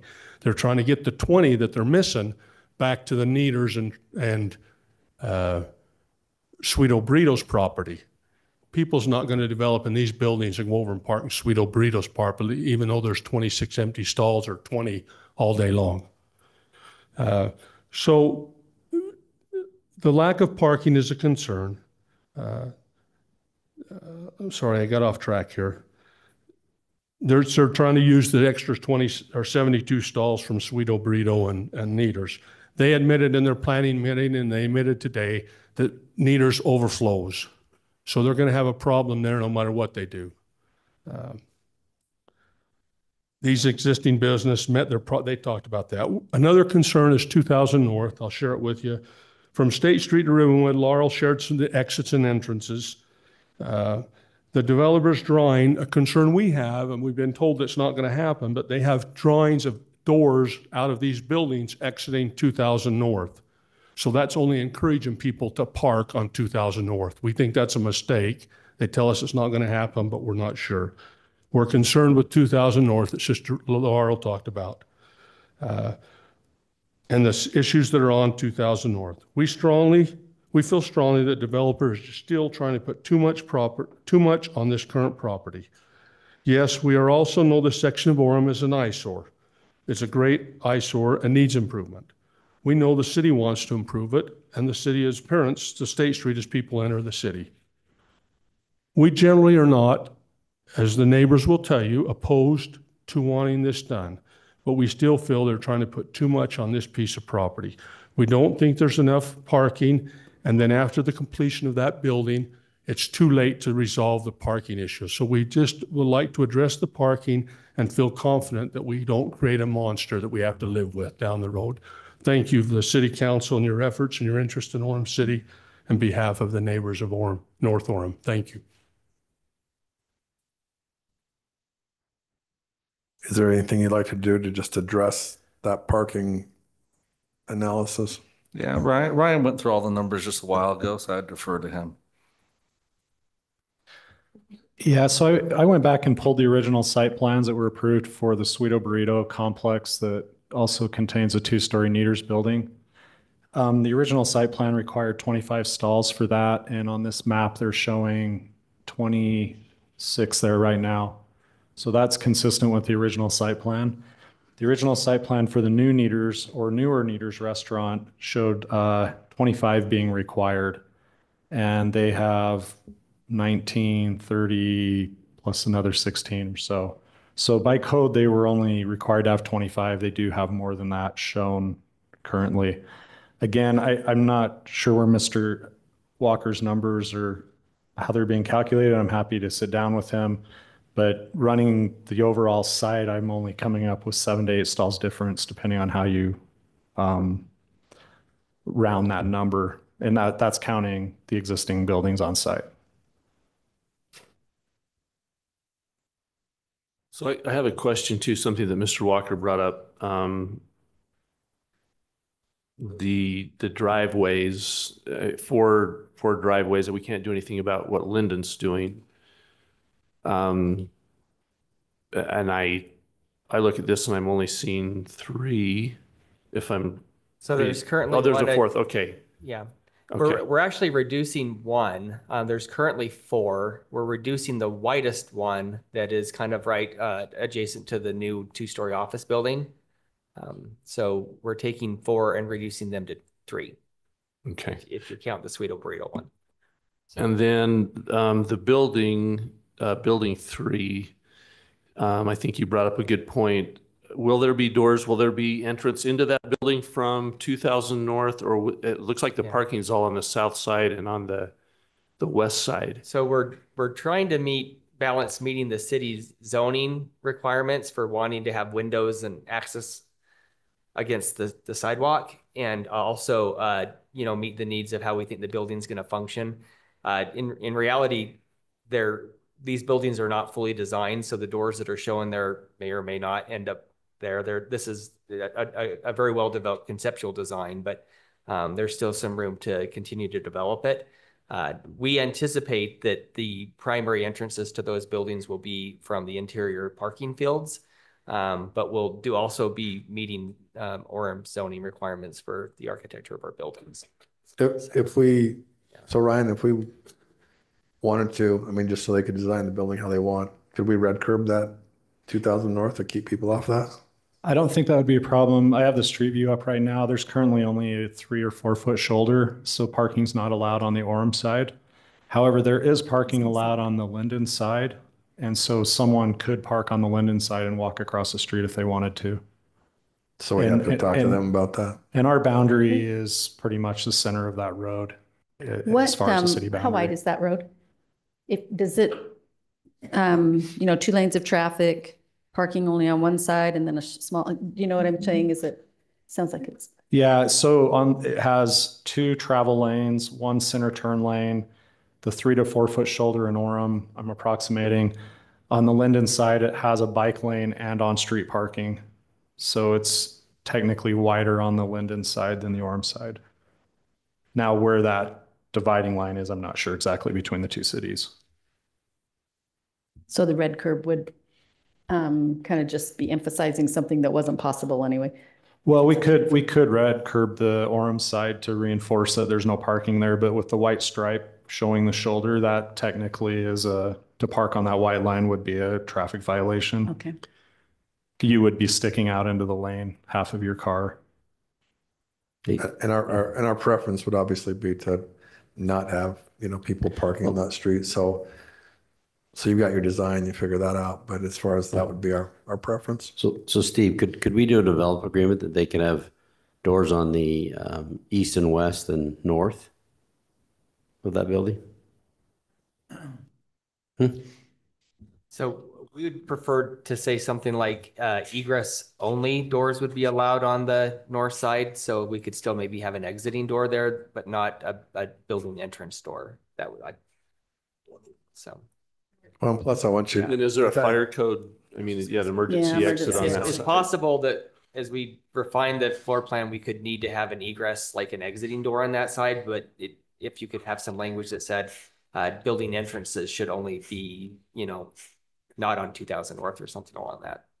Yeah, It would be nice to just, I mean, we want it designed as beautiful as possible. So we don't really want to be telling you where you can put your doors and that sort of thing. But if we can control it out on the roads, that would be better. And, and we may be able to talk to Lindon about that too. But our goal would be not to have people parking on that road. So to answer your question real quick, if you wanted to do something like that, you wouldn't need to do a development agreement. You could actually put it in the zone standards tonight. And you could add a provision saying, you know, whatever you wanted it to say. Just put it, make it part of the PD fifty-three ordinance. Just so they can't park on the street. No, not as the parking, but as the location of entrances. I thought, I thought that was uh, what. That Mr. was, that was Spencer's my question was question, about. but, um, Well, I, I just don't want to force them to put Yeah, I mean- entrances and affect their design. Uh, uh, I'd rather control the parking some other way.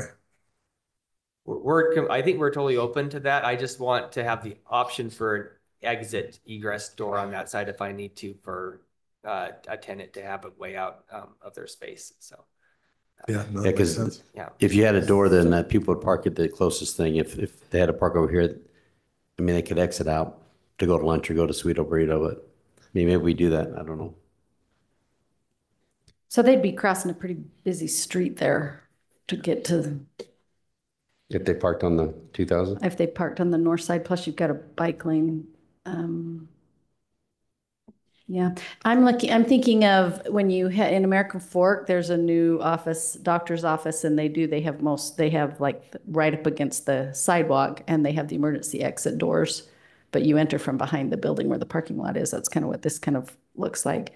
Were you envisioning, I mean, I guess we're trying to find out, what was your, So we, we've treated the facade as a, as a attractive, I won't call it the front of the building, but as a, as a public facing part of the building. It's an attractive facade. I think that benefits the project. It doesn't look like the backup house. Um, the entrances that, that we plan on pedestrians enter the building would happen on the two short ends and the one, long end that faces the internal part of the project. I don't think we have any reservation to being told that uh, doors that open onto 2000 North had to be egress only doors. Um, So, So How would you put that in the PD fifty-three? Because you, you don't want, you just want to limit to building three.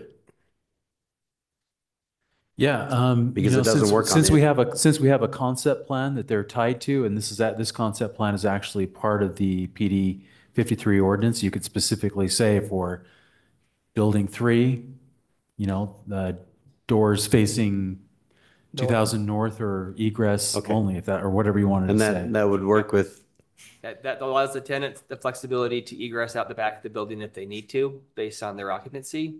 But um, establishes that we aren't using those as primary building entrances. Ryan, my only concern from the discussion tonight is knowing that Mr. Walker got a quality math education at Orem High School, the same, the same, Mr. Udi or someone there. Um, So the difference, Ryan, between your math and his math has some concern for me. I don't know how we rectify this, but if we, if we say 255 parking stalls for this area, then the 22 short or whatever will be, will be worked on in the math. Is that correct? Because if we said we were going to stick at 250, we're talking about 2,000 less square feet to the developer, and I know he doesn't want to do that to get the extra eight stalls. But if we're talking whatever number you got up to, that's a concern to me. So, Well, I went to Orem High as well, so we're. oh, we're okay. Dealing Who with the who same was your math problem. teacher? so- We should be resolved. Yeah, one, one of the, I, They just need to be Yeah. counted on the map. The property around it is twenty short stalls short. In their notes at the bottom, they say how they make that up by using Neaters and Sweeto Burrito stalls of seventy-two make up so they have enough. But, but again, Ryan's math was 25 to 26 stalls. They were almost there already with the existing building. So I'm a little, I'm, I'm following all the math. I think I'm reasonably good at math, but I'm, there's a conflict here. so I guess Ryan, was. I don't know. Yeah, was the square footage of every building included in Yeah. that? yeah. I Yes, it think be. maybe what Mr. Walker, Walker is alluding to is if Neaters is using seventy stalls or sixty stalls, but they only are required to have twenty-five, That's a problem. then there's, there's that overlap that the applicants talked about, how Neaters at noon will expand out into the office parking. And so there will be crossover and shared parking. Well, shared parking's okay, but over parking's a problem. That's the only concern. Correct. And I don't know if you're allowed a second shot, is he? Can I Mr. make just a comment on that? So Mayor, that's help up to you. clarify it? Hold on, this, it- you it's need to a- be recognized by the mayor before you can come up and Okay. speak. Yeah, And that's just- his decision whether to allow you to come up. I and speak. understand that. Okay, so I'll, I'll let you come up, but just kind of keep it concise. Well, back to the public input. So if you count the stalls on the property, they're 20 short. They're getting a variance of 22 from the State Street deal, and they're getting seven that was discussed, seven or eight from the 2.5 to 2.55. And we understand that. So if you take the property as it sits, not getting those variances, they're 49 short. If you give them the variance that they're asking for, they're still 20 short. And that's just counting the property. And it says it right there on their map. They know it. The, the reason I bring it up is they knew it and they knew it when there was the planning and they know it now and they're still, but they're absorbing Neaters and the 72 stalls that occupy Neaters and Sweeto Burrito, there's 72 there. They're, because of those 72 absorbed into the whole plan, now they have enough to fit the planning deal. That's, the, that's just how it is on the map. So- Does that make any so- sense so- or so- help me? So are you saying, you're saying there's 72 between Ne- Neaters and Sweeto Burrito, right? 72? 72. So was there originally less required for those two? No, no, I mean- well, he said there was. I don't know originally. He said I- there was Maybe that's where you're coming up with the difference. I don't know. But there's 72 that Neaters has now and Sweeto Burrito has, and they're taking those and incorporating it, like they said, with the rest of that property and developing it all at one time. They're using those 72 stalls to get to their 2.55 So- that they're so I'm- I'm required. just trying to understand. The discrepancy is that the original for those two entities was less, and so you're, but now you're saying there's 72. I, I don't disagree with Mr. Walker on what he just said. He is correct. There are 72 stalls shown, existing stalls shown on the map within the boundary of those existing buildings. But the original site plans only required uh, 45. So there is surplus parking there. A- And do we know how They're- many of those 72s they're currently using? I, can- I, We don't I- know. they, they could maybe. You probably answer did that. You probably have some traffic information It, there. it depends on the time of day. Sure, There's- but do they ever use all 72? If they do, that's Sure. a problem. Yeah. Well, so- Sa- Probably the biggest time that we overflow is on a Saturday morning, when the office buildings would be empty. And when French toast is a deal. Yeah. Well, and I often see those to the north of Neaters, the ni- 19, um, not really used. In the, are you referring into, in between the Sweeto Burrito and the? uh, Yeah. Those are used Is that less, like yes. We, employee we do a lot of parking? employee parking there, et cetera. And, and uh, just as far as our submittal's concerned, we, we followed all the requirements of um, Orem City and how we wrote up our parking and how we um, did our analysis on our square footage. And there's no intent to hide anything um, in that. Uh, And I believe the city has reviewed it. So. But, the- but that, that is the essence of the disagreement, I think, is, is, Mayor, is, is those two, those two entities required less parking on the original development, right? And so now their excess is being And into as the we- development. Sorry, Mayor. Um, But as we look at the site as a whole and we consider the uses, we do calculate the use for each use i- in each building. And then we show the collective result of that in our parking uh, count.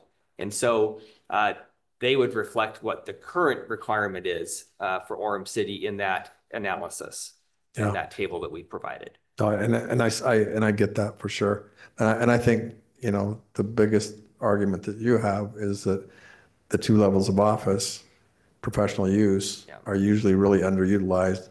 And they're especially underutilized after six, you know, after five or six and on weekends. So there's, you know, that's where you get into trying to figure out what's, what's possible, what's not. But I mean, to me, to me, that all makes sense. If, if this were all heavy retail or if it was, you know, um, all fast food, everything in there, it wouldn't, probably wouldn't work, but it's not. It's a mix of pretty high use, which is Neaters and Sweeto Burrito, and then low use on the professional office from my perspective. Mayor, if I could add, I just did a count of the site plan of the number of stalls shown on it using the numbers provided. You can kind of see in there that it shows a little number in each area. I came up with 399, which is actually shown in their table as the total stalls provided, which exceeds um, even what their code of 387 or 88 is stating. So, I mean, technically they don't even need the parking adjustment. So I'm kind of curious, maybe the applicant could explain why? Is it just for flexibility in case you need to change things during site plan? Do you have a little leeway? I, I'd have to take a look at that and see, it, it is noted that way on the site plan. I think it had to do with the way that we were, um, considering the new uses against the old, but Okay. yeah. just, to- I, I'm not trying to argue this fact, but on their plan, it calls for their square footage, and it says right on the map that they've got, they need three hundred and forty-seven. If you count the parking stalls around this building on this development, not Neaters or not Sweeto Burrito, they only have three hundred and twenty-seven. That's where they're twenty-seven short, or twenty short. And then they've asked for the, and, and if there's not a parking problem, like I said, we're, we're not opposed to this. We just don't want the problems down the road in a year or two from now, once it gets there. If there's not a parking problem and it works, then it's a good thing. But if it is, it's going to be a nightmare, and that's our concern. Okay. Thank you for letting Thank me you. interrupt you. Any other comments? Okay, we'll go ahead and close the public comment. Any other comments from the council? I still have a concern about parking, but I, I mean, it's a nice project, so, but I, I am concerned about parking, so. Yeah. I guess my, my concern with parking is I, I hope your, I appreciate your double lane drive-through because that, when I'm there, that cuts off, that backup cuts off a bunch of parking stalls.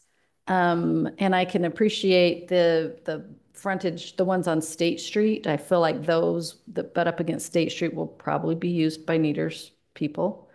Um, I'm, I don't know, does Sweeto Burrito ever fill up with their parking? I've never really seen Very rarely. issues there. So maybe if employees can switch over a little north and free up the north of Neaters for additional Neaters customers and do some training there, you know, education for the regulars, that they can find parking over there. Um, the whole thing really is to avoid overflow into the neighborhood. So, um, you know, I, I, I think the project looks great. Uh, there's going to have to be some education and training for those of us who love Neaters during lunch. I, I, I mean, we've, we've talked about all the different issues, but I really believe the pro- professional office is going to mitigate the, the parking issues. Um, and then I just, like you say, when you look at what's there now and what's been there for years, that doesn't add any value to Orem or the neighborhood or anybody. And the idea of, you know, moving this, um, out to hundred feet as opposed to the ten feet it is right now, I, I just don't see any negatives on the project, but that's just me. Other than the doors need to be exited. Yeah, and, and, and that, I, and I, and I'll, I'll go back to, as far as whatever they do on that side of the building, I think we want that building to look really nice. So it's this nice building, and so I think we leave it up to them on the design side. And then we try and mitigate the parking if it is an issue with red curb, back to Lindon, do whatever to keep people off that, that street. Because that would be a problem. Steve, can you instruct us if, if someone was ready to make a motion, what they needed to add to the end of it about the ingress or regress doors? Uh, So if you wanted to add that provision, I think that you would just make a motion to uh, approve, for example, the proposed PD 53 zone with the modification that, uh, and, and I, probably the best way to do it, if the developer is okay with that, is just to add a note to the concept plan on building three saying that any doors facing 2000 north would be egress only. They could just put that note right on there and then obviously when they develop their plans, that would be We're okay with that. obvious to everyone. We- we That would be works for fine you? That That works for us. Okay. Somebody like to make a motion? I'm good. You gonna do it? That's a lot of words. I'll do it. I make a motion to approve the PD Zone 53 as described with the modification that Building 3 has doors, or uh, the north-facing doors are egress only. Does that capture it? Yeah, and, and just asking the, the developer to add a note to the concept, uh, concept plan to reflect that. Yep. And Yeah, add a that's note good. to reflect that. Second. Aye. Aye. Aye. I, and all this talk of Neaters and Sweeto burritos make me hungry. Aye. Aye. Hey, can we, sorry, th- this actually has two parts. You did the first part, which is creating, creating the PD fifty-three zone. But then we also need to, uh, rezone the property, uh, that we've been talking about tonight to the PD fifty-three zone. Do you want me to just read it exactly as it's written? So, yeah, I think it's, yeah, right up there. Uh, Ryan's pointed out, it's on the screen right there. You've Oh. done the first part. Just read that whole thing. Okay, Yeah, I just go ahead and read motion. the whole thing. Sure. I motion that we approve the recommendation to enact Article 221166 PD 53 and, and Appendix 00, or is that 00, of the Orem City Code and amend Article 22-5-3A and the zoning map of the city of Orem by rezoning the property located generally at 1960 North State Street from the C2 zone to the PD 53 zone, approximately 6.8 acres, with the modification that building three north-facing doors only, or be egress only. Perfect. I'll still second it. Aye. Aye. Aye. Aye. Aye. Aye. The rezones pass. So, thank you.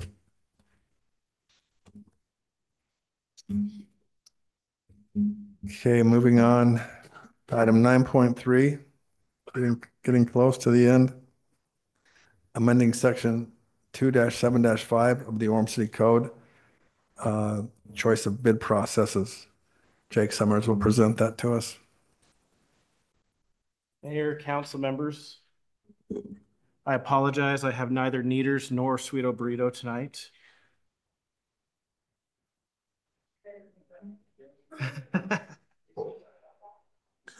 But will you let us have fun? That's the real question today. As fun as procurement can be. So um, tonight, uh, we have a resolution before the council uh, recommending adopting or amending Orem City Code 2-7-5, which is uh, the city's uh, processes for purchasing and procurement. Uh, To give a little bit of context for the, the resolution, and I promise I will be quick. um, It is governed by Utah Code 63G, 6A, 101, and that chapter, which requires municipalities to adopt rules regulating the management and control of procurement of property um, and the purchasing of, of any material. Uh, Further, Utah Code 106-122 is the municipalities code, and that requires all purchases and or encumbrances may be made according to uh, rules established by city ordinance or resolution. Our city procurement code has been adopted in Article 2-7 of the city code. Um, Based on the MGT study, which was presented at the working session of the city council on January 23rd, uh, we are going to be following, uh, recommending uh, the increasing of thresholds and um, incorporating different changes to our procurement code for cost-saving measures as well as to um, respond to inflationary responses in the market. Um, So this uh, resolution does four things. First, in 275A, it increases the formal bid threshold from 25,000 to $50,000. The last time we made that adjustment, I believe, was in 2013, so over a decade ago was the last time we we adjusted for inflation purposes. Uh, next is in 275B. It increases the cap for the written bid procedures from 25,000 to 50,000. So we're just taking that next step down and we're increasing it to match where we've increased the threshold for formal bids. Um, but also the third, yes. If, if there was a sensitive issue that was coming in under 50, but we wanted to formalize a bid, could we? Absolutely. Um, I'm going to jump uh, to to ahead to kind of what uh, 275B allows. It allows for all of the same uh, procurement procedures that we do for anything over 50,000. It just gives us the added option to do a documented price quote uh, procedure. So it just gives us one more tool for any purchases below 50,000, but it doesn't restrict us from doing anything more formal or more intensive. So can you clarify that? So let's say we, we go along and there's some issue and we, we've changed everything to fifty thousand. Mm-hmm. But like Tom says, maybe there's something that's higher profile or whatever, and it's forty-five thousand. Are you saying we could just do the typical RFP Yes. process, just the way it's always been? Absolutely. Or, or we could do the, the new one, which, so we would basically vote if it was an issue, right? Yeah. Yep. Okay. so, um, to answer very directly to your question, Mayor, yes, two seven five A allows for any purchases over, over fifty thousand dollars to either be a formal competitive bid, a RFP or request for proposal, or a reverse auction. By increasing it to fifty thousand, that's, we're saying we will do that no matter what if it's over fifty. If it's an amount below fifty thousand dollars, we can still choose one of those three mechanisms, and we could also choose a documented price quote system. Okay? Um, the third thing that this resolution does is it inc- incorporates the documented price quote procedure and it lowers that threshold to five thousand. So we're basically taking what were four different uh, thresholds and we're turning them into three thresholds. And then the third, uh, sorry, the fourth uh, item this resolution uh, takes on is it increases the cap for procurement of services or goods that are below five thousand. So at that point, we don't need to go through the documented uh, price quote or any of the formal bidding, but that is still incentive, it, it still directs staff to find the best price possible. Um, any questions so far? Okay. Um, I've already addressed A and B.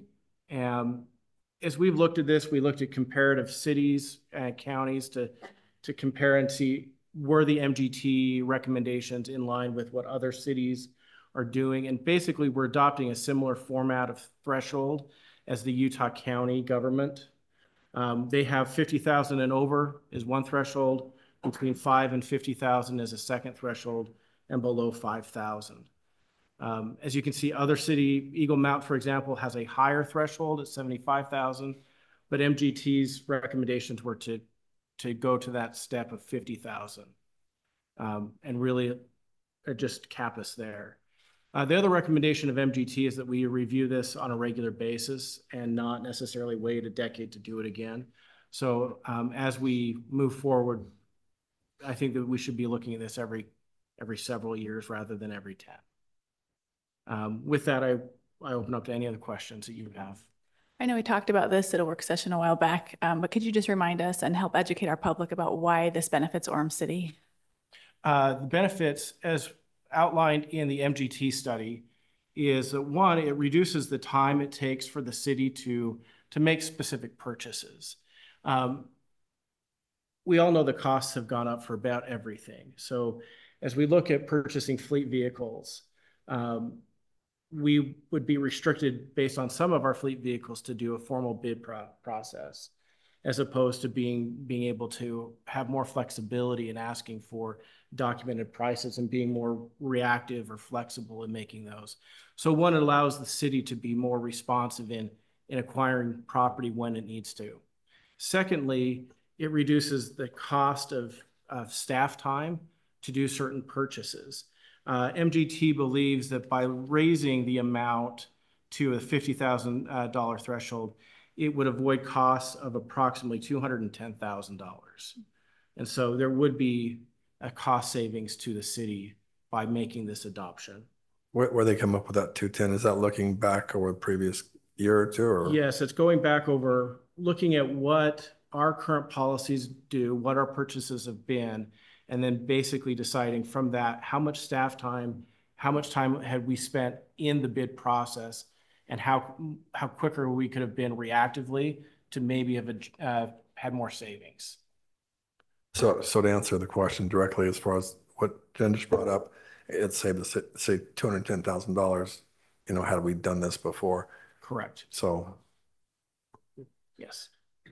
Um, this, this is the world I live in, in the private sector. And, and it could be even additional savings because sometimes if you don't jump on a price situation and you, you're going through that formal process, by the time it comes back around, that price has gone up and you missed a window of an opportunity. So Absolutely. it could be even greater savings and, and much more efficient for this Yes. department. Thank you. Any other questions? I think we all feel pretty good about it as we kind of went through it de- in more depth in the work session. So somebody like to make a motion? I'll make a motion. I move that we amend section two, uh, two seven five, two dash seven dash five of the Orem City Code, choice of bid processes. Second. Aye. Aye. Aye. Aye. Aye. The ordinance passes. Thank you, Jake. All right. Moving right along. Uh, Brenda, do you have any comments you'd like to bring up? Just real quick, um, our applications are closing soon for the Orem Fest Spirit of Orem Award.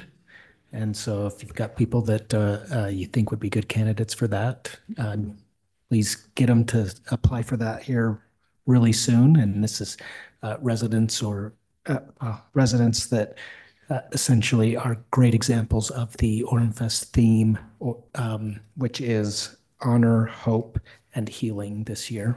And how, how do people go about making that nomination? Pete?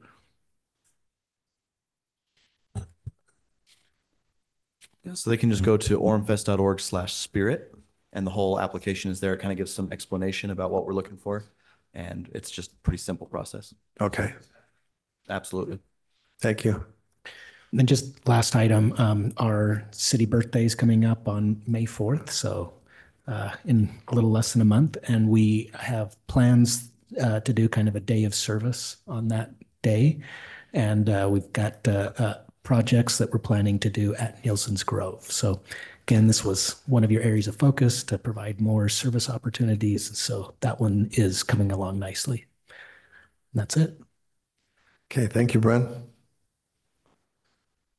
All right, we're up to item number 12. Mayor, I move that we adjourn to a closed door session in room 107 to discuss pending or reasonably imminent litigation, the character or professional competence of an individual or the purchase or lease of real property. Is that right? Second. Aye. Aye. Aye. Aye. Aye. Aye.